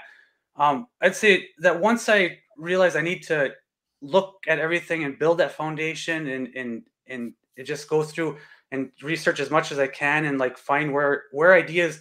I mean, a lot of times you can't find like the actual origination point of an idea, but as far back as you can to like where did this idea came from, come from, and how did it morph over time and stuff like that. When I would reach any new evidence, I was able to pivot quickly. And Austin and I have talked about that, where Austin said his brain's the same way. You see evidence that's contradictory to what your bias is or what you believe, you know, we're able to pivot quickly to say the truth is more important than trying to hold on to something that isn't true. And so you'll you'll see most people they look for you know the stuff to confirm their biases. And so like when they do what they call research and stuff like that, their research is finding things that confirm their bias and then saying, "Well, I know this isn't right because I found this." And it's like, "Yeah, but the evidence shows this." And they just don't want to think about it, you know? Well, when I was able to find different things like especially on the on hell, when you do look back and you find how how much of hell that people know today or know today is a human construct and it's pulled from all kinds of you know mythology. And in like in the old testament there's no there's no mentions of hell in the old testament just sheol it's just the grave a neutral term. And it's like once i learn these things like pivot quickly it's like oh this hell that you're afraid of that's described to you it doesn't exist that was pulled from the imagination of men i have evidence that shows that it is you know so It's, it's lovely that um, your wife has clearly come on and, and put her tuppence in here. I absolutely knew he was struggling, but I didn't want, uh, I didn't know what exactly uh, was wrong. Uh, I was happy he was able to finally explain why, and that that's obviously fantastic. Yeah, and what I, um, what, I, what I do is I'd shut down. I just get I'd get very insular. I just I just go into myself, and so it's like I was I was at home existing, living, breathing, but I was a zombie because everything was going on in here. You know. So, so Austin, you you were away at university, I presume, just living your life as a fairly typical person. Uh, making assumptions here, uh, you might be just a no. He was he was at home, which caused mm-hmm. which was, I mean, we, we should talk about this, and you can put me yeah. on blast too. But well, so I'm interested in in so uh, Austin, you kind of deconverted before your dad, right? So, mm. what did you feel your dad thought of you deconverting, or did you keep it quiet? Like, like, did he have a sense? Uh, how did he he react to that? Uh, and then vice versa, what did you see of your dad's deconversion, and how did you how what were your experience of that, and what did you feel about that whole situation? Yeah, so um, you know, in my case, um, you know, my my folks weren't happy about it at all. So, um, and I can understand why when you have that mindset and that framework um, that has been established over all those years um, that the church gave them, and then to get the um, rug pulled out from you like that with one of your own children, I'm sure it's extremely troubling, right? You worry about things like, well, they're going to go to hell now, and and things like that, or oh, maybe they will do all of these bad things because they don't have our moral framework anymore, right? Maybe he's going to go out and I don't know, do drugs or something, right? So I can imagine there's many things that you would worry about. Um, and it it's you know it sucks to have to um, cause that kind of discomfort to people that you care about by telling them something like that. But you can't keep it bottled inside forever, and you have to be who you are and the person that you're going to become. So it's much better, for, you know. I figured to eventually just get it out there,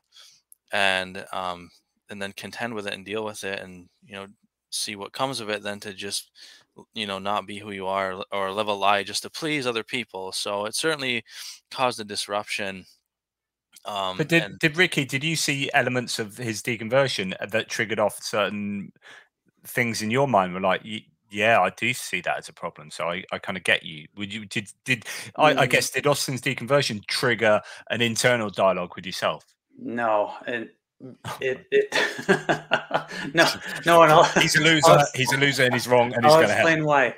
Um, I mean, obviously, I, I loved him, and the, the first reaction, you know, for myself is you're thinking, I'm responsible. You know, I felt responsible for what happened to him. And like, you know, going through high school, anytime Austin, I, I was very, I had very much binary thinking for just about everything, you know, in the raising environment I was mm. and, you know, in the culture I was. And so everything was like black and white. So, you know, Austin would do well in school, but then if there's any time where he'd slip a little bit, I would is like sh- the shock and awe. You you know, it's like you have to get your grades up. They have to be you know A's. You know, quit making excuses. You just do it, and that, that was it. I was I wasn't empathetic. I didn't you know wasn't I wasn't encouraging in the right way, and I always felt you know a lot of guilt about that. But then, you know, he he worked hard. He, you know, just like any kid, you have your little times where you kind of just ease back a little bit, and then I'm there to pressure him. I wanted him, you know, I knew he was capable of. I knew he was a smart kid, and I was I wanted him to get straight A's, get great scholarships, and go to school. And and I wanted him to chase, you know, education, which I, you know, also I knew he's capable of it, but I know part of me too, in the back of my mind, was like I missed out on what I should have had. You know, I I really wish I could have went had the opportunities that Austin had, and I could have if I was raised in a different environment. But the problem is in in Austin was he did well and he got a lot of good scholarships. He's he I mean he you he graduated from college with almost almost no debt because scholarships paid for you know most of it and stuff. But then I and even going to college, he wasn't sure his first year. I don't know what I want to do. Maybe I won't go. And I was like, no, you're going. You start. You're gonna find your way. You know, you're gonna eventually find your path. So I we just threw him into marketing. You know, it's like just start, get some of those nuisance classes out of the way. And then, you know, he found his rhythm with biology, and that was it. He was gung ho. Well, then I feel guilt because it's like, okay, I pushed him hard to get to college. I sent him on, you know, I feel responsible. I sent him on his path. I did all this paperwork to get him into college, and now he's in biology. Now he's, you know, deconverted from my religion, and now he's going to hell. And I felt like it's my fault. I I pushed him here, and now he got he got to the education that I was wanting to get in, you know, into university. I didn't want him to go on the path that was going to bring him to hell, you know. So I felt mm. so guilty. I felt mm. a lot, tremendous amount of guilt. And I remember and that's, that, that's that damaging notion of that hell belief, isn't it? That it can just like it's always hanging over you, and it, it's like the ultimate uh, shitstorm for any decision you ever make, or and it's like, oh, but oh my god, he's going to get a hell, and it's yeah. my fault, and, which is kind of which it makes you then, sorry, Ricky, it oh, makes no, you then understand um, why people go out and witness. You know, because this is a thing. This is an American thing, particularly. We don't do it in Britain. We're all very much Church of England, or we go to a church on Sunday and sing a dirge, and then drink some tea and eat biscuits. And where, whereas in America, you get people standing on street corners. And, well, that's not very British. We don't do that. Ooh, it's shouting about religion. We keep that quiet. But but you shout about it and you witness. And but then I kind of understand that because it's like of course they're going to witness because if, if, these guys don't come to believe in the true Christianity, they are going to go to hell for eternity. And that there's nothing worse in human conception. So I am obligated, surely, to do that. So hell is always there, isn't it? If you believe in it. Yeah, and even as painful and painful, difficult as it was when Austin told us how he felt, and you know he moved out of the house, and obviously he didn't want to be around. You know, we were like, I mean, it's hard to be around people that are trying to pressure you into going to church and stuff like that. Was that a thing for you, Austin? Then you, you like you you re, you reject you reacted to that kind of um, religious environment. But he was very respectful. He never once tried to talk us out of our religion. I got to say that before he mm. before he was on. Yeah, yeah so I, I, would only um, respond. Um, you know, I was pretty non-confrontational, so I just kind of just quit going. Um, and so, I, you know, I would have probably waited even longer, said less, but you know, then you would have, you know, my parents saying like, well, you, you keep not showing up, like, and coming and finding me to like confront me about it. So, uh, you know, eventually you kind of have to, to just get it out there and, and say it how you feel. But in terms of actually like sitting down and sharing arguments and like, okay, let's, let's have a debate or something, right? That, that wasn't something that I would actively do um, only as a response to assertions that were um, that were made toward me, right? So, like if my dad would come up and present some arguments or something, well, then now that you've put those arguments out there, I'll respond and like say why they're not convincing. And I remember um, them bringing up the embarrassing stuff of trying to convince you that you know about kinds and stuff like that, and I was coming from a Christian perspective, and now when I learned about you know, you know changing yeah. of kinds and stuff like that, I, there's so many things I'm embarrassed that I said when I look back at it. It's like, oh, I was coming from a mm-hmm. place of ignorance. yeah, and uh, I suppose that's an interesting segue. I don't know. Sorry, uh, you may not have finished saying no, what sorry, you're saying. You yeah, finish, asking. Sorry. Did, is was there more to add? Um. Well, that was. I mean, basically, kind of the big, the big gist of it was it was more um based on responding but also yeah i did it i did kind of want to be out of that environment um and not not really be around um, people that were going to continuously like proselytize or try to get me to come back there. Um, I didn't feel like repeatedly having the same discussion over and over again with people who I knew were going to respond um, emotionally and not actually mm. want to like mm-hmm. have a, a, real discussion about those issues. It was more of like fear, anger, um, you know, you'd better start coming back here, things like that. So I wasn't interested in that. Um, if somebody wanted to actually, a family member or, or anyone wanted to actually um, discuss the arguments and these positions um, in a kind of clear, more, I guess, academic manner, then I was always happy to do that. But I didn't want to basically sit there and get you know pressured especially being a little bit younger at the time right? People tend to think like well i'm older than you so i know better and i'm just gonna talk to you like you're a kid and you're yeah. going through a phase age, or something. age does not equal wisdom. Mm-hmm. I, I, love i love you like fear leads to anger. Anger what? Anger leads to the dark side? I mean you got darth vader behind you there ricky. Uh, yeah. it took me long enough to realize all the memorabilia like oh my goodness that's awesome. Superheroes um, in star wars. So, uh, so I guess politics is is maybe where where we can head before we start sort of wrapping things up. But um, as so often is the case with particularly in America, where religion is is is a very close bedfellow with conservative politics. Uh, you know, conservative religion and conservative politics seem to be you know one and the same. Um, we can talk about the intersection there, but like as you came out of the the shackles of your conservative religion, Ricky. Uh, did you find that your politics shifted? And uh, how, how do you feel about that? Why was that do you think? And then austin were you just always like that? Or, or you know what was going on there? So what you know jump in. Yeah for for myself i was very much a republican. But what what you know on, on reflection of that too is it's fat because now i would say i'm slightly left of center maybe. Um it's like i was a republican i said all the you know the republican talking points and since i was very since I was very much like I said in that binary mode, it was like there was there was always black and white. And my wife and I joke, joke about this all the time because there's so many times during our marriage when I'd say there is no gray area, there's black or white, there's right or wrong, and she'd be like, no, there's gray area. Like, no, there's not. You know, there's this way, mm. you know, and that's it.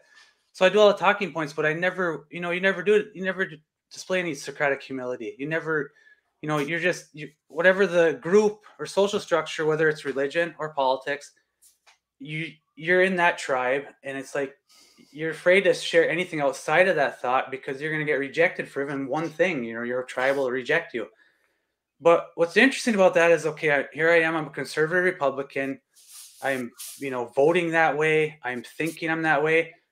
But there's always a, a part of me that had like a it was almost like you know do i really like my feelings are telling me that this isn't this way but yet you're still, you know, and it, it's it's it's fascinating That's when like, I reflect back on it. It's like I wasn't as right wing as I thought I was. I was actually I think that's problematic. A, so. a, lot to be said for um, political psychology, and, and that defines kind of uh, it's it's a disposition that uh, is quite fundamental and I think shapes can shape what religion you believe in. So if you are politically liberal as your your psychological disposition, you end up adopting a kind of if you are going to be Christian, you're going to be a, like a New Testament uh, Jesus' love kind of Christian. Whereas if you're a real authoritarian person and a very authoritarian um, politically conservative person, then you end up adopting an Old Testament Yahweh is a jealous God type thing.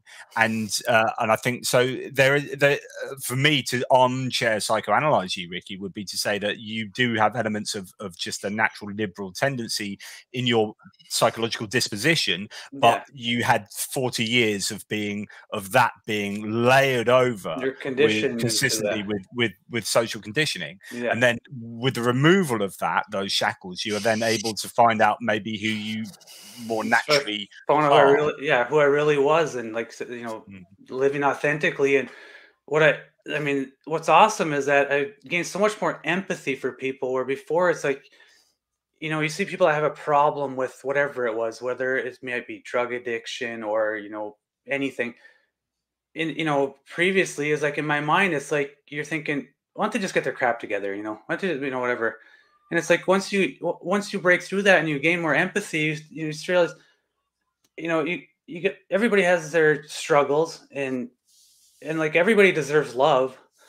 And it's like you put all these like i said social pressures on people to be this and be that. And it's like people should just be able to live authentic and and we should we're all worthy of love. And it just like to get to that point is so refreshing yeah, absolutely. And, and, what's your experience of that, um, Austin? About the, you know, was, was, politics important to you, especially sort of going through college uh, and discovering who you were?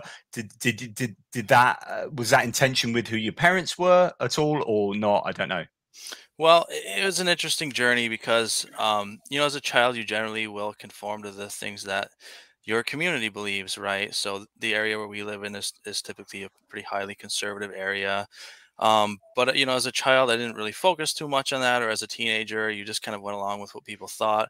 But um, some of the um, things that that um, that people around me did think. Um, there was a lot of things like homophobia, transphobia, um, uh, racist attitudes, things like that. I could never sign on to. Um, I, something I always felt extremely wrong about that. Um, it was just easier to express it um, once I had deconverted because I realized how those things were correlated. That um, religious faith with the conservative politics and how those kind of beliefs are formed. So it was more liberating in a sense, I guess, to just be able to express who you were.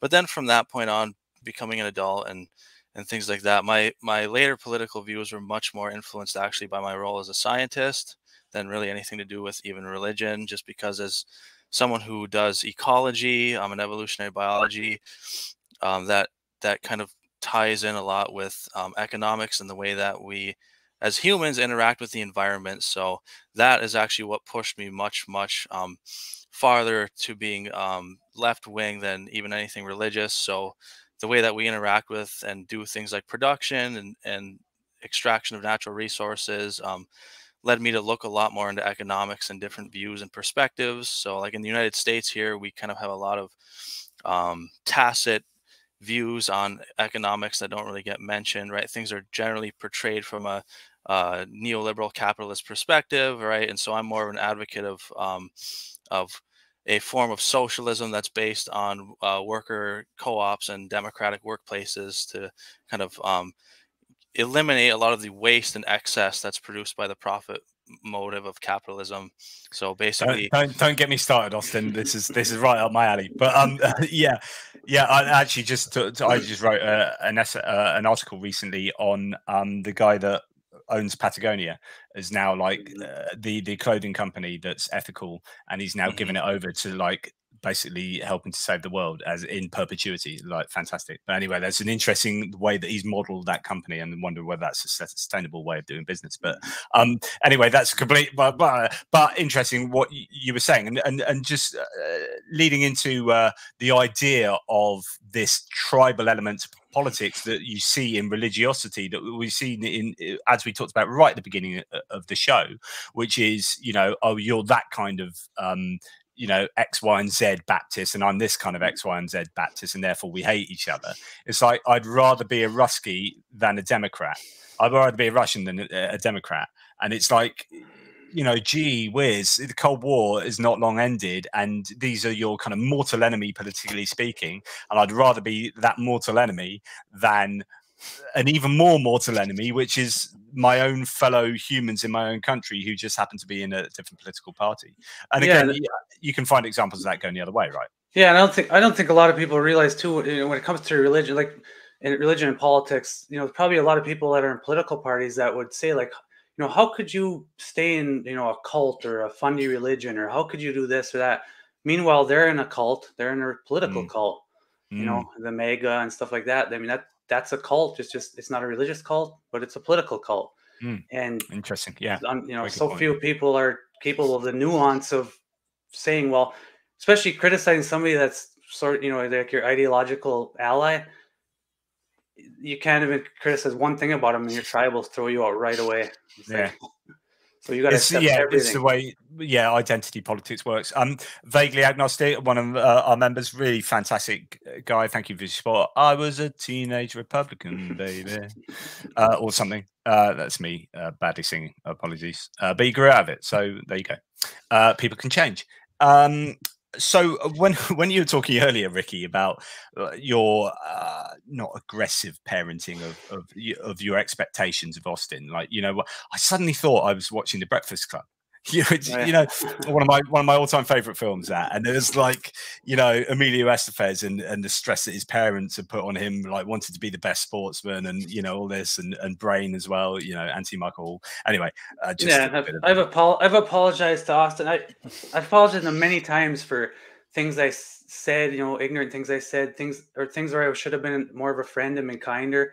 You know, because I was just like I said, so much binary thinking on things and you know he's so many times told me that you know it is what it is and that's the past and you know I would it was mostly like I said just I wanted the best for him but I, you know I was wondering how much of it was I projecting you know my own feelings of uh, inadequacy because I you know I'm I'm so happy that he's pursuing his PhD and there's so you know big part of me that wishes I would have been able to go on that path if I growing up in a little bit of a different culture. But it's vicarious PhD. Yeah, like exactly. he's, he's, doing on your uh, you're living through him. Exactly. This is when like my kids, like when when both my kids, I've got twin boys. They're twelve now, and they both got their hair cut recently. They used to both have long hair, and I was like living vicariously with my long hair because I like receded and just can't grow long hair anymore. And I'm like, you can't get it cut. You can't get it cut. Like, I am living through you. You've got it cut now. Oh, I'm like Samson myself. I'm a vicarious Samson, and yeah. I've just died. Yeah, thanks. anyway, uh, sorry. Um, uh, so. Um, uh, as we sort of start drawing to a close, if anyone has any questions, please get them in for uh, my esteemed guest. Uh, it's been a real pleasure speaking to them. So, uh, just what what what were like? Do you think the the biggest challenges for you uh, leaving leaving Laestadianism, leaving religion? Uh, both of you, Ricky. What do you think was the overriding big challenge for you? I, it, I felt I felt bad knowing that I was causing distress to like my mother and my family members and stuff like that. Interesting. Like it's so important to live authentically and and and but yeah, I still, you know, there's a part of me that's like I don't want to make them feel bad or dis- disappoint them. But that's also one of my biggest criticisms about environments like that is that they should not be conditioned like that to feel disappointed that I leave. And that's that's what hurts me is to know that they're feeling pain because they've been conditioned by a handful of men to feel that pain mm. and and it, it, it, just makes me sad and it's like it's what it's done though is it's inspired me to see that i in whatever capacity i can somehow you know for the rest of my life i want to be an advocate and help ex-fundamentalists and ex-Laestadians. I don't know what capacity. I've looked into maybe different charities and but for the most part, if I could just provide support to people even if it's just listening to people, whether mm. they're still in the Laestadian religion or not.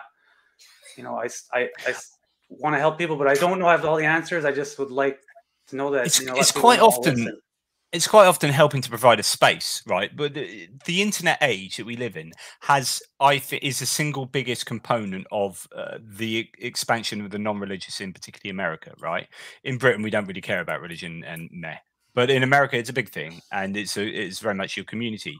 But uh, it's very difficult if you're living in a community to get out of that community if you're still living geographically and physically in that community, and uh, and knowing not knowing that there's anyone else in the world that feels like you, right, and that has these same thoughts. But now we've got the internet. It's like, oh, I'm starting to have these challenges. Oh, look, there's a Facebook group.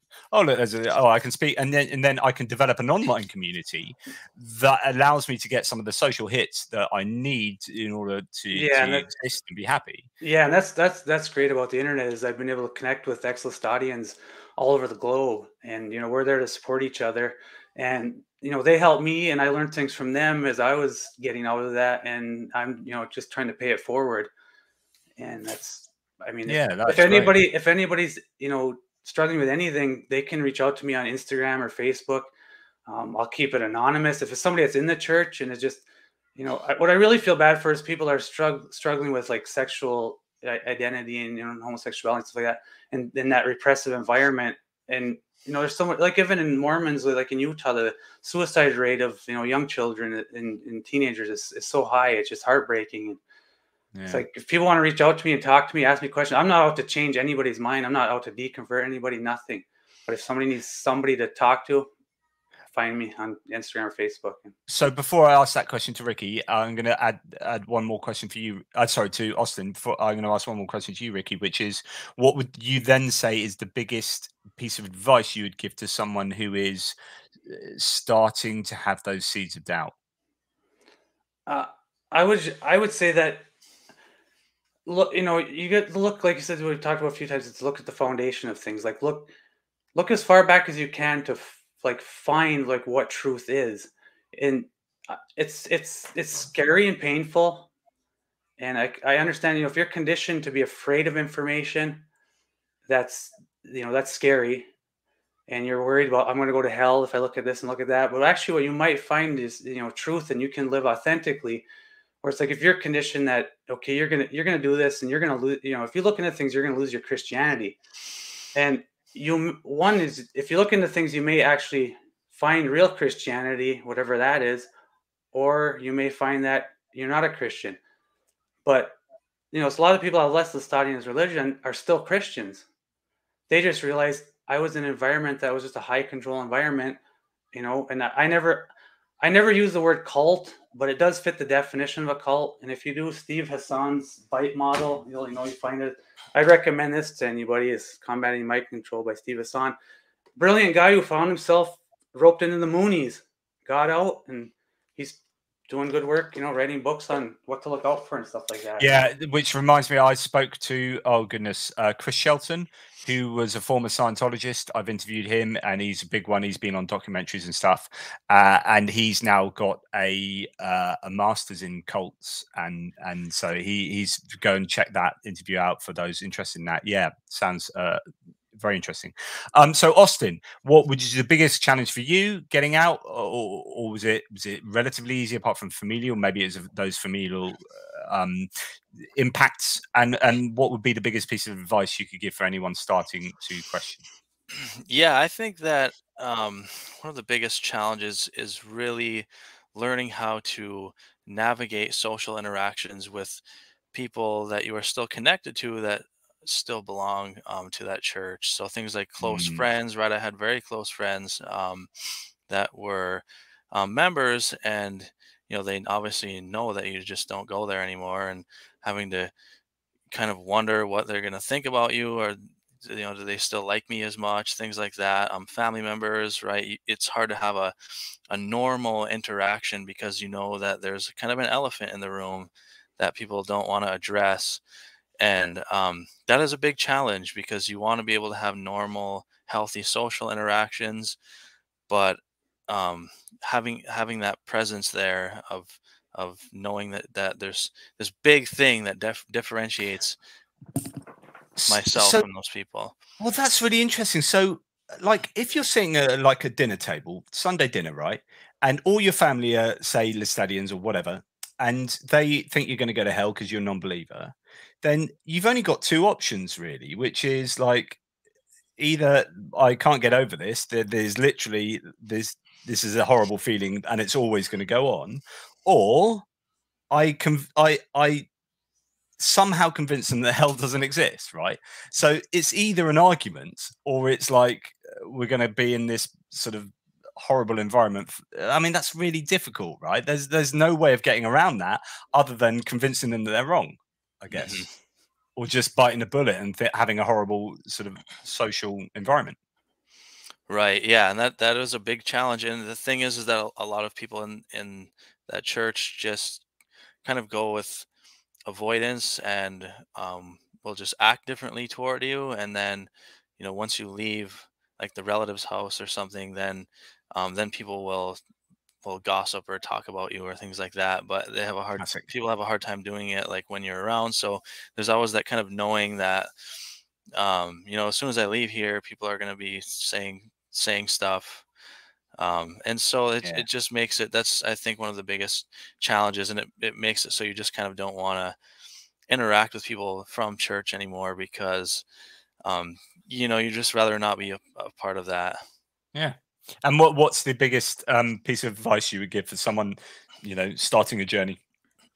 Yeah, I think my advice would be um, just don't be afraid, or if you are afraid, don't let it control you, and just you know look into the things that scare you. Right? If something if something in the back of your mind is telling you not to look into this or that topic, that's all the reason to look into it even more, and find you know try to the best of your ability to find out what the best ap- approximation of the truth is on whatever subject you're looking into, and then contend with that after, right? There are things that are very challenging for us to have to deal with, right? Topics like um, like death, for example, right? That's a big one, and religion helps to answer that. And that after you pass away, you get to continue living and and go somewhere nice, right? And and when you really look into it, what is the evidence for that? And you um, take an honest approach at it. There really is no good evidence, at least in my opinion. I've never seen anything to indicate that that sort of thing would be the case. You know, you're more than likely just you're just unconscious, right? And that's a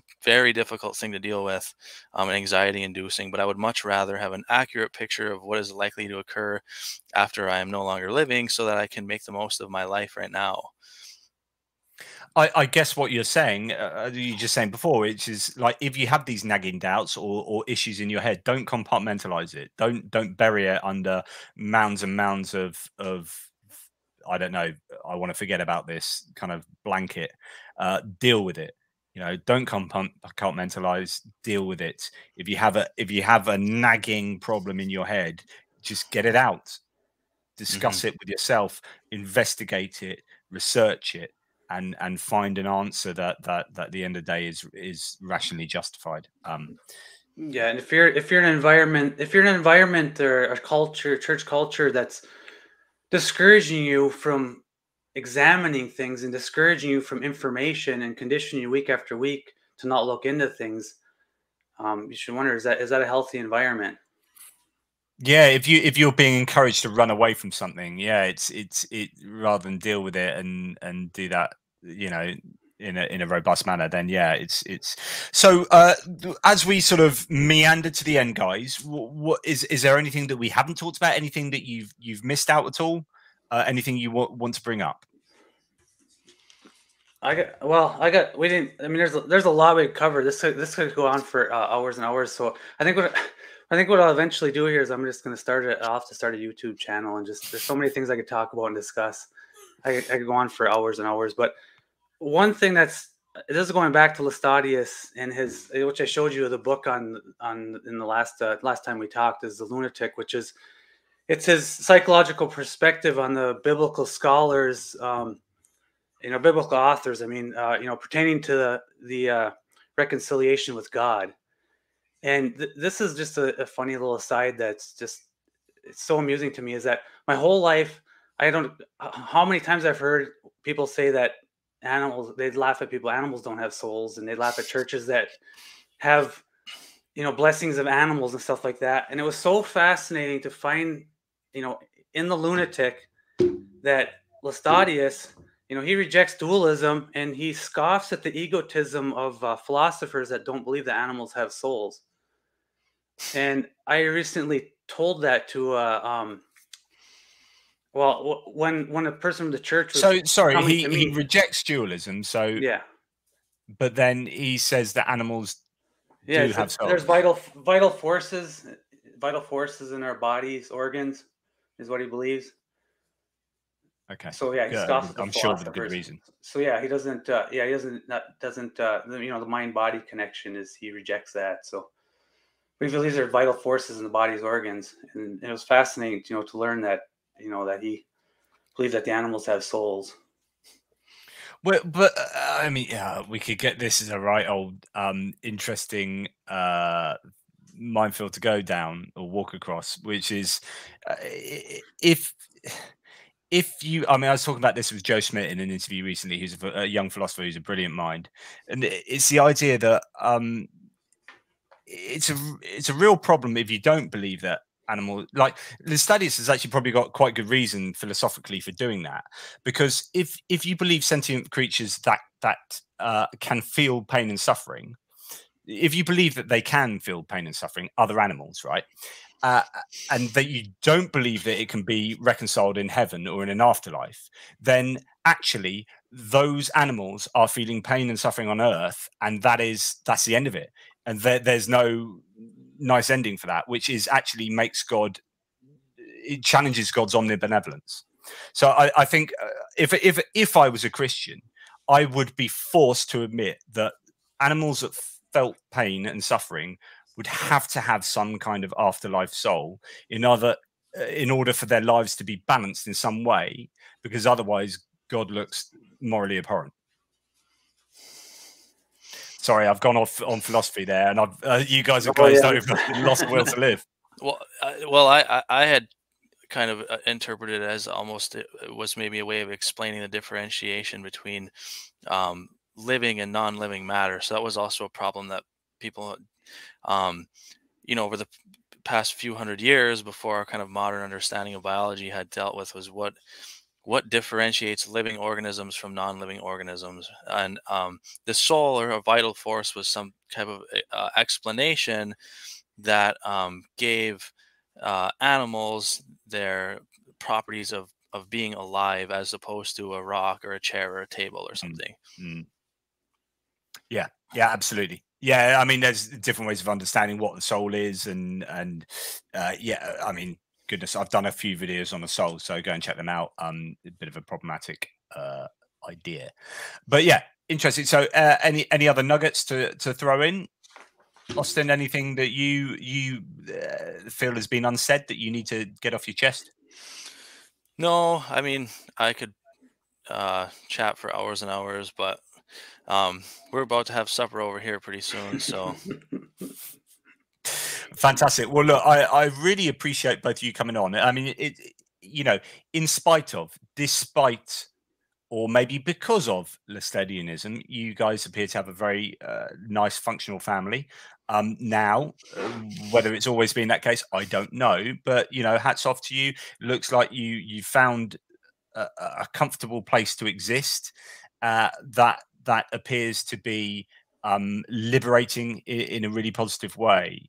D- d- do you feel the same? I mean, that's me psychoanalyzing you. So, uh, Yeah, that bring that brings up a, a good point that I can we can discuss real quickly. Is that when when I first left the church, my preacher was talking to my wife, and he told her, you know, that things aren't going to go well for you, and she said, "Well, why would things not go well for me because Ricky left the church?" And he said, "Well, if things don't go well for you, it's going to lead him back to the church." And you know things like that is like it didn't pan out that way because our family's bet in a better position we've ever been in and we're closer than we've ever been.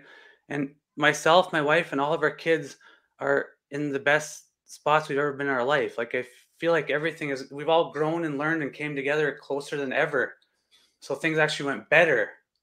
So he, he That's wasn't beautiful. right yeah, and I- and I guess it, on the flip side of that, it must be so sad when you have families that that don't deconvert together, and where you have like a, a husband that's still there and a wife is deconverted, or vice versa, or you got children do, or parents do, and children don't, or whatever, and you have those those families that then you have a chasm between them and then that, that's the end of the family so it's it's it's really um fantastic that you guys have, have taken that journey together and and successfully navigated those choppy waters Yeah, it is, and it, I see that you're having Tim Mills on here in the near future, and Yes. uh, I know you know his wife's a believer still, and he's lost his belief completely. You know, he's a, an atheist, and it breaks my heart when I hear stuff like that. Like how how- like how difficult that must be for him and his children and stuff. So I really look forward to that interview. Yeah, I've talked to him personally, uh, you know, privately about lots of stuff, and yeah, it's just um really difficult to navigate those those scenarios. It's just, uh, you know, heart bleeds for for those people who just uh, are either living a lie in in in their communities, uh, but not at home. But then the schisms that causes at home, uh, it's just yeah, it's really tough. Um, uh, so uh, thank you so much, guys. Really have appreciated this, um, uh, th- the conversation, and I hope it's provided a uh, a platform for you to express some of your feelings and, and ideas and talk about the things that are really important to you and your experiences. Um, uh, my wife is still a Christian, and it has caused friction. I imagine, as he as as as Dale is online on atheist uh, um, channels, getting to yeah, that, uh, and then of course you know his wife does does she believe that that her own husband will be going to hell? Like, how how do you? I mean, do you really believe that? Do you really believe that that your loved one, and if you really believe that your other half is going to go to hell for eternity, if that's your belief, I'm not saying it is necessarily in in this case, but then you, surely you'd be every waking minute trying to convert your your husband. Every waking minute because your eternity is not just like 10 years in a really bad prison. Like this is literally i mean a billion years is a long time but that's an infin- infinitesimal fraction compared to eternity. Like it's nothing. A googolplex is nothing compared to eternity. Just it's unfathomable. And so i think really what people do in those situations is just like oh, i'm not going to think about it not going to think about it and like yeah there you go oh, it's all fine Yeah, it's understandable. I mean, sometimes I think, boy, it, it'd be nice if I wasn't always uh, thinking. I could just chill out and just follow. I've heard so many people say it's so easy to just follow what I'm told and just do what I'm Yeah, told. and it goes like, back to that point we Yeah. were talking about earlier, which is, do you know what? Someone else is thinking for me. That's fine. Yeah. Job done. Easy.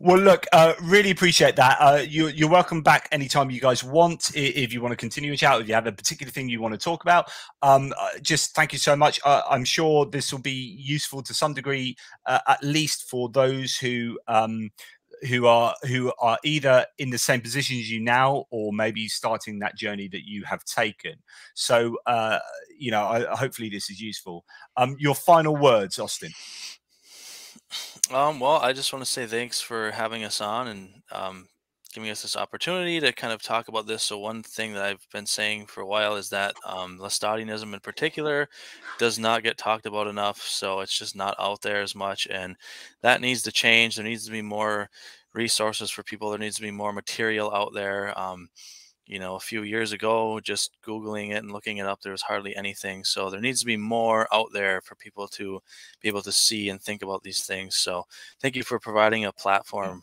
um, for that. No problem at all. And and you know, I presume there are Facebook groups, but that's one of the first places to go, isn't it? And in those, you know, areas where people can interact, hopefully in really positive, uh, supportive ways. Um, Ricky, what what what about yourself? Any final words? Yeah, I would say um, a couple recommendations like if people could go to extoots.org e-x-t-o-o-t-s.org there's some information about Laestadianism and the different branches there. There also is a link to a facebook group a private facebook group if you know any ex-Laestadians you know want to join that. Um, also if you want to know more about Laestadian Laestadianism from another ex-Laestadian is a, a book called an examination of the pearl by ed suominen um, it's at examinationofthepearl.org. And plus, you can find his book on Amazon. But the whole book is actually on his website. That's a very Finnish name, so it sounds like it's in the right Ed's, ballpark. Yeah, it's yeah. Ed Suominen. He was he was in a different branch of Laestadians. Oh, I am. I, I, know Ed Suominen. I was just going to say, I, I, I saw you were connected to him on Facebook, and I was like, I got to find out how is that connect? Where that connection come from? Yeah, Oh, anyway, I, didn't realize, I didn't realize he was an ex-Laestadian. Uh, yeah. he, he owns Tellectual Press, which is a, a publishing company. Yeah, okay. I, I know it. Oh, yeah. And then I read it. I was reading his book, and this is this is after I deconverted and was out of the church, and I was reading his book, and I loved it because I found a kindred spirit in Ed because so many things I found problematic, he had found like a decade before me, and I'm like, you know, I'm reading all these things. I'm like, I'm telling my wife, look at, you know, Ed found, you know, what, what I found, you know, and stuff like that. So that, that was uh, that was really interesting. So I enjoyed oh, that. Good. And uh, and you know, one, another parting thought, like I said, is, I want to support ex-Laestadians. So I told people, you know, reach out to me on Instagram, ricky.c.johnson, or else find me on Facebook, Ricky Johnson on Facebook. And if you are a and you're currently in, in in a church, like I said, I won't I won't share your name or let anybody know you're talking to me. I just I just want to support people and help people because I appreciate how much I was helped and supported by people. Yeah. And then one other uh, one other thing too, related to your bunker question from the last episode. Who three people I want to be stuck with bunker that bunker that aren't relatives? I made an egregious error. So uh, James Hetfield from Metallica is in, and Gordon Ramsay's out because James Hetfield Metallica had much more of an impact on my life than Gordon Ramsay. So Anthony Bourdain, Arnold Schwarzenegger, and James Hetfield. And James I Hetfield's love- James Hetfield's parents were Christian scientists there's Christian science in that religion, and his song "Dyer's Eve" is expressing his frustration towards his parents for raising him in a religion that didn't prepare him for how to handle the real world. So listen Brilliant. to Dyer's Eve and bang your head. I, I, love the fact that you've been thinking about this like throwaway question of mine. And, uh, you do realize I'm going to have to. The last thing's going to be asking Austin what is. So this is going. I probably I'm so bad at saying goodbye, right, and stopping videos. I just go on and on and on and like oh, yeah, oh after, after this, that's it. Yeah. yeah, but uh, Austin. Okay, so one of my last questions in my quickfire questions I give. I didn't do quickfire today because there's two of you and slightly different dynamic and whatnot. But one of them is you're going to get your face eaten off by a horde of zombies. Um, spam number four, I've written a, uh, a zombie series, um, dystopian future. So you know, get yourself uh, these books. Uh, but anyway, that's irrelevant. So you're going to get your face eaten off by a horde of zombies. You get a chance to just run down your bunker that you've handily prepared, um, where you can hang out for a month, but and you get time to take three people uh, with you, but they can't be your family or friends, who would you take to live with in a bunker for three months? Oh, yeah, one month. Yeah, one month. Is, sorry, one month. Three friends, one month. It, it's real. These type of questions are so tough for me. I'm always so indecisive. So, um, You got to, You you, got to do it. There's no time. You literally, you're being chased down. Your face. is Any, anyone, right? Living, living or dead, right? Yep. Um. Well, I guess I would, I would need someone to keep conversation with for long periods of time. So I'd want, um, probably a philosopher, and a scientist, and then some form of entertainment. So, um, maybe, um, David Hume, Ooh, um, JBS Haldane, ooh. and um, the notorious Big to um, spit some hot bars while we're when we need entertainment. See, we do think like because I was thinking James Hetfield would do the entertainment, Anthony Bourdain would cook the food, and then Arnold in his humor, and plus we could talk about bodybuilding. My base is covered. But yeah, but I mean, you've gone metal, he's gone rap. So you Yeah. know, there's there's there's a ma- I, your fa- family's got more, your family's got more issues than I thought. So um, I'm so, and I don't think you can get over that. Uh, really, like it, yeah. Anyway, I was, going to go down another rabbit hole, but I won't. Of course, I won't. So, thank you so much to the super chat just putting Chindies up there. Um, a really great uh, support from all of you. A great discussion in the um, in uh, the the live chat uh, was a great discussion. Thanks to you all. Austin's bunker choices. We have just had that, so uh, yeah, I hope you enjoyed. Anyway, um, as ever, you know, uh, question everything, particularly yourselves. You are the easiest, as Richard Feynman, the physicist, said. You know, the easiest person to fool is yourself. So you know, try not to do that. He didn't say it like that, but that's me. Um, and uh, please like, subscribe, share, uh, hit the bell. I don't even know that I've got a bell, but everyone says that. Uh, if you see a bell around, just hit it. just in your house, if you've got a bell, just hit the bell. And I say, Jonathan MS Pearce has told me to do this. I was just hitting a bell. Um, uh, and uh, thanks for all your support. Uh, until next time, Toodle Pips and massive big love to my guest and to uh, mum and wife who is is not here but has been commenting in the live chat. So great family and really interesting stuff. Thanks so much, guys. Uh, until next time, everybody. Goodbye.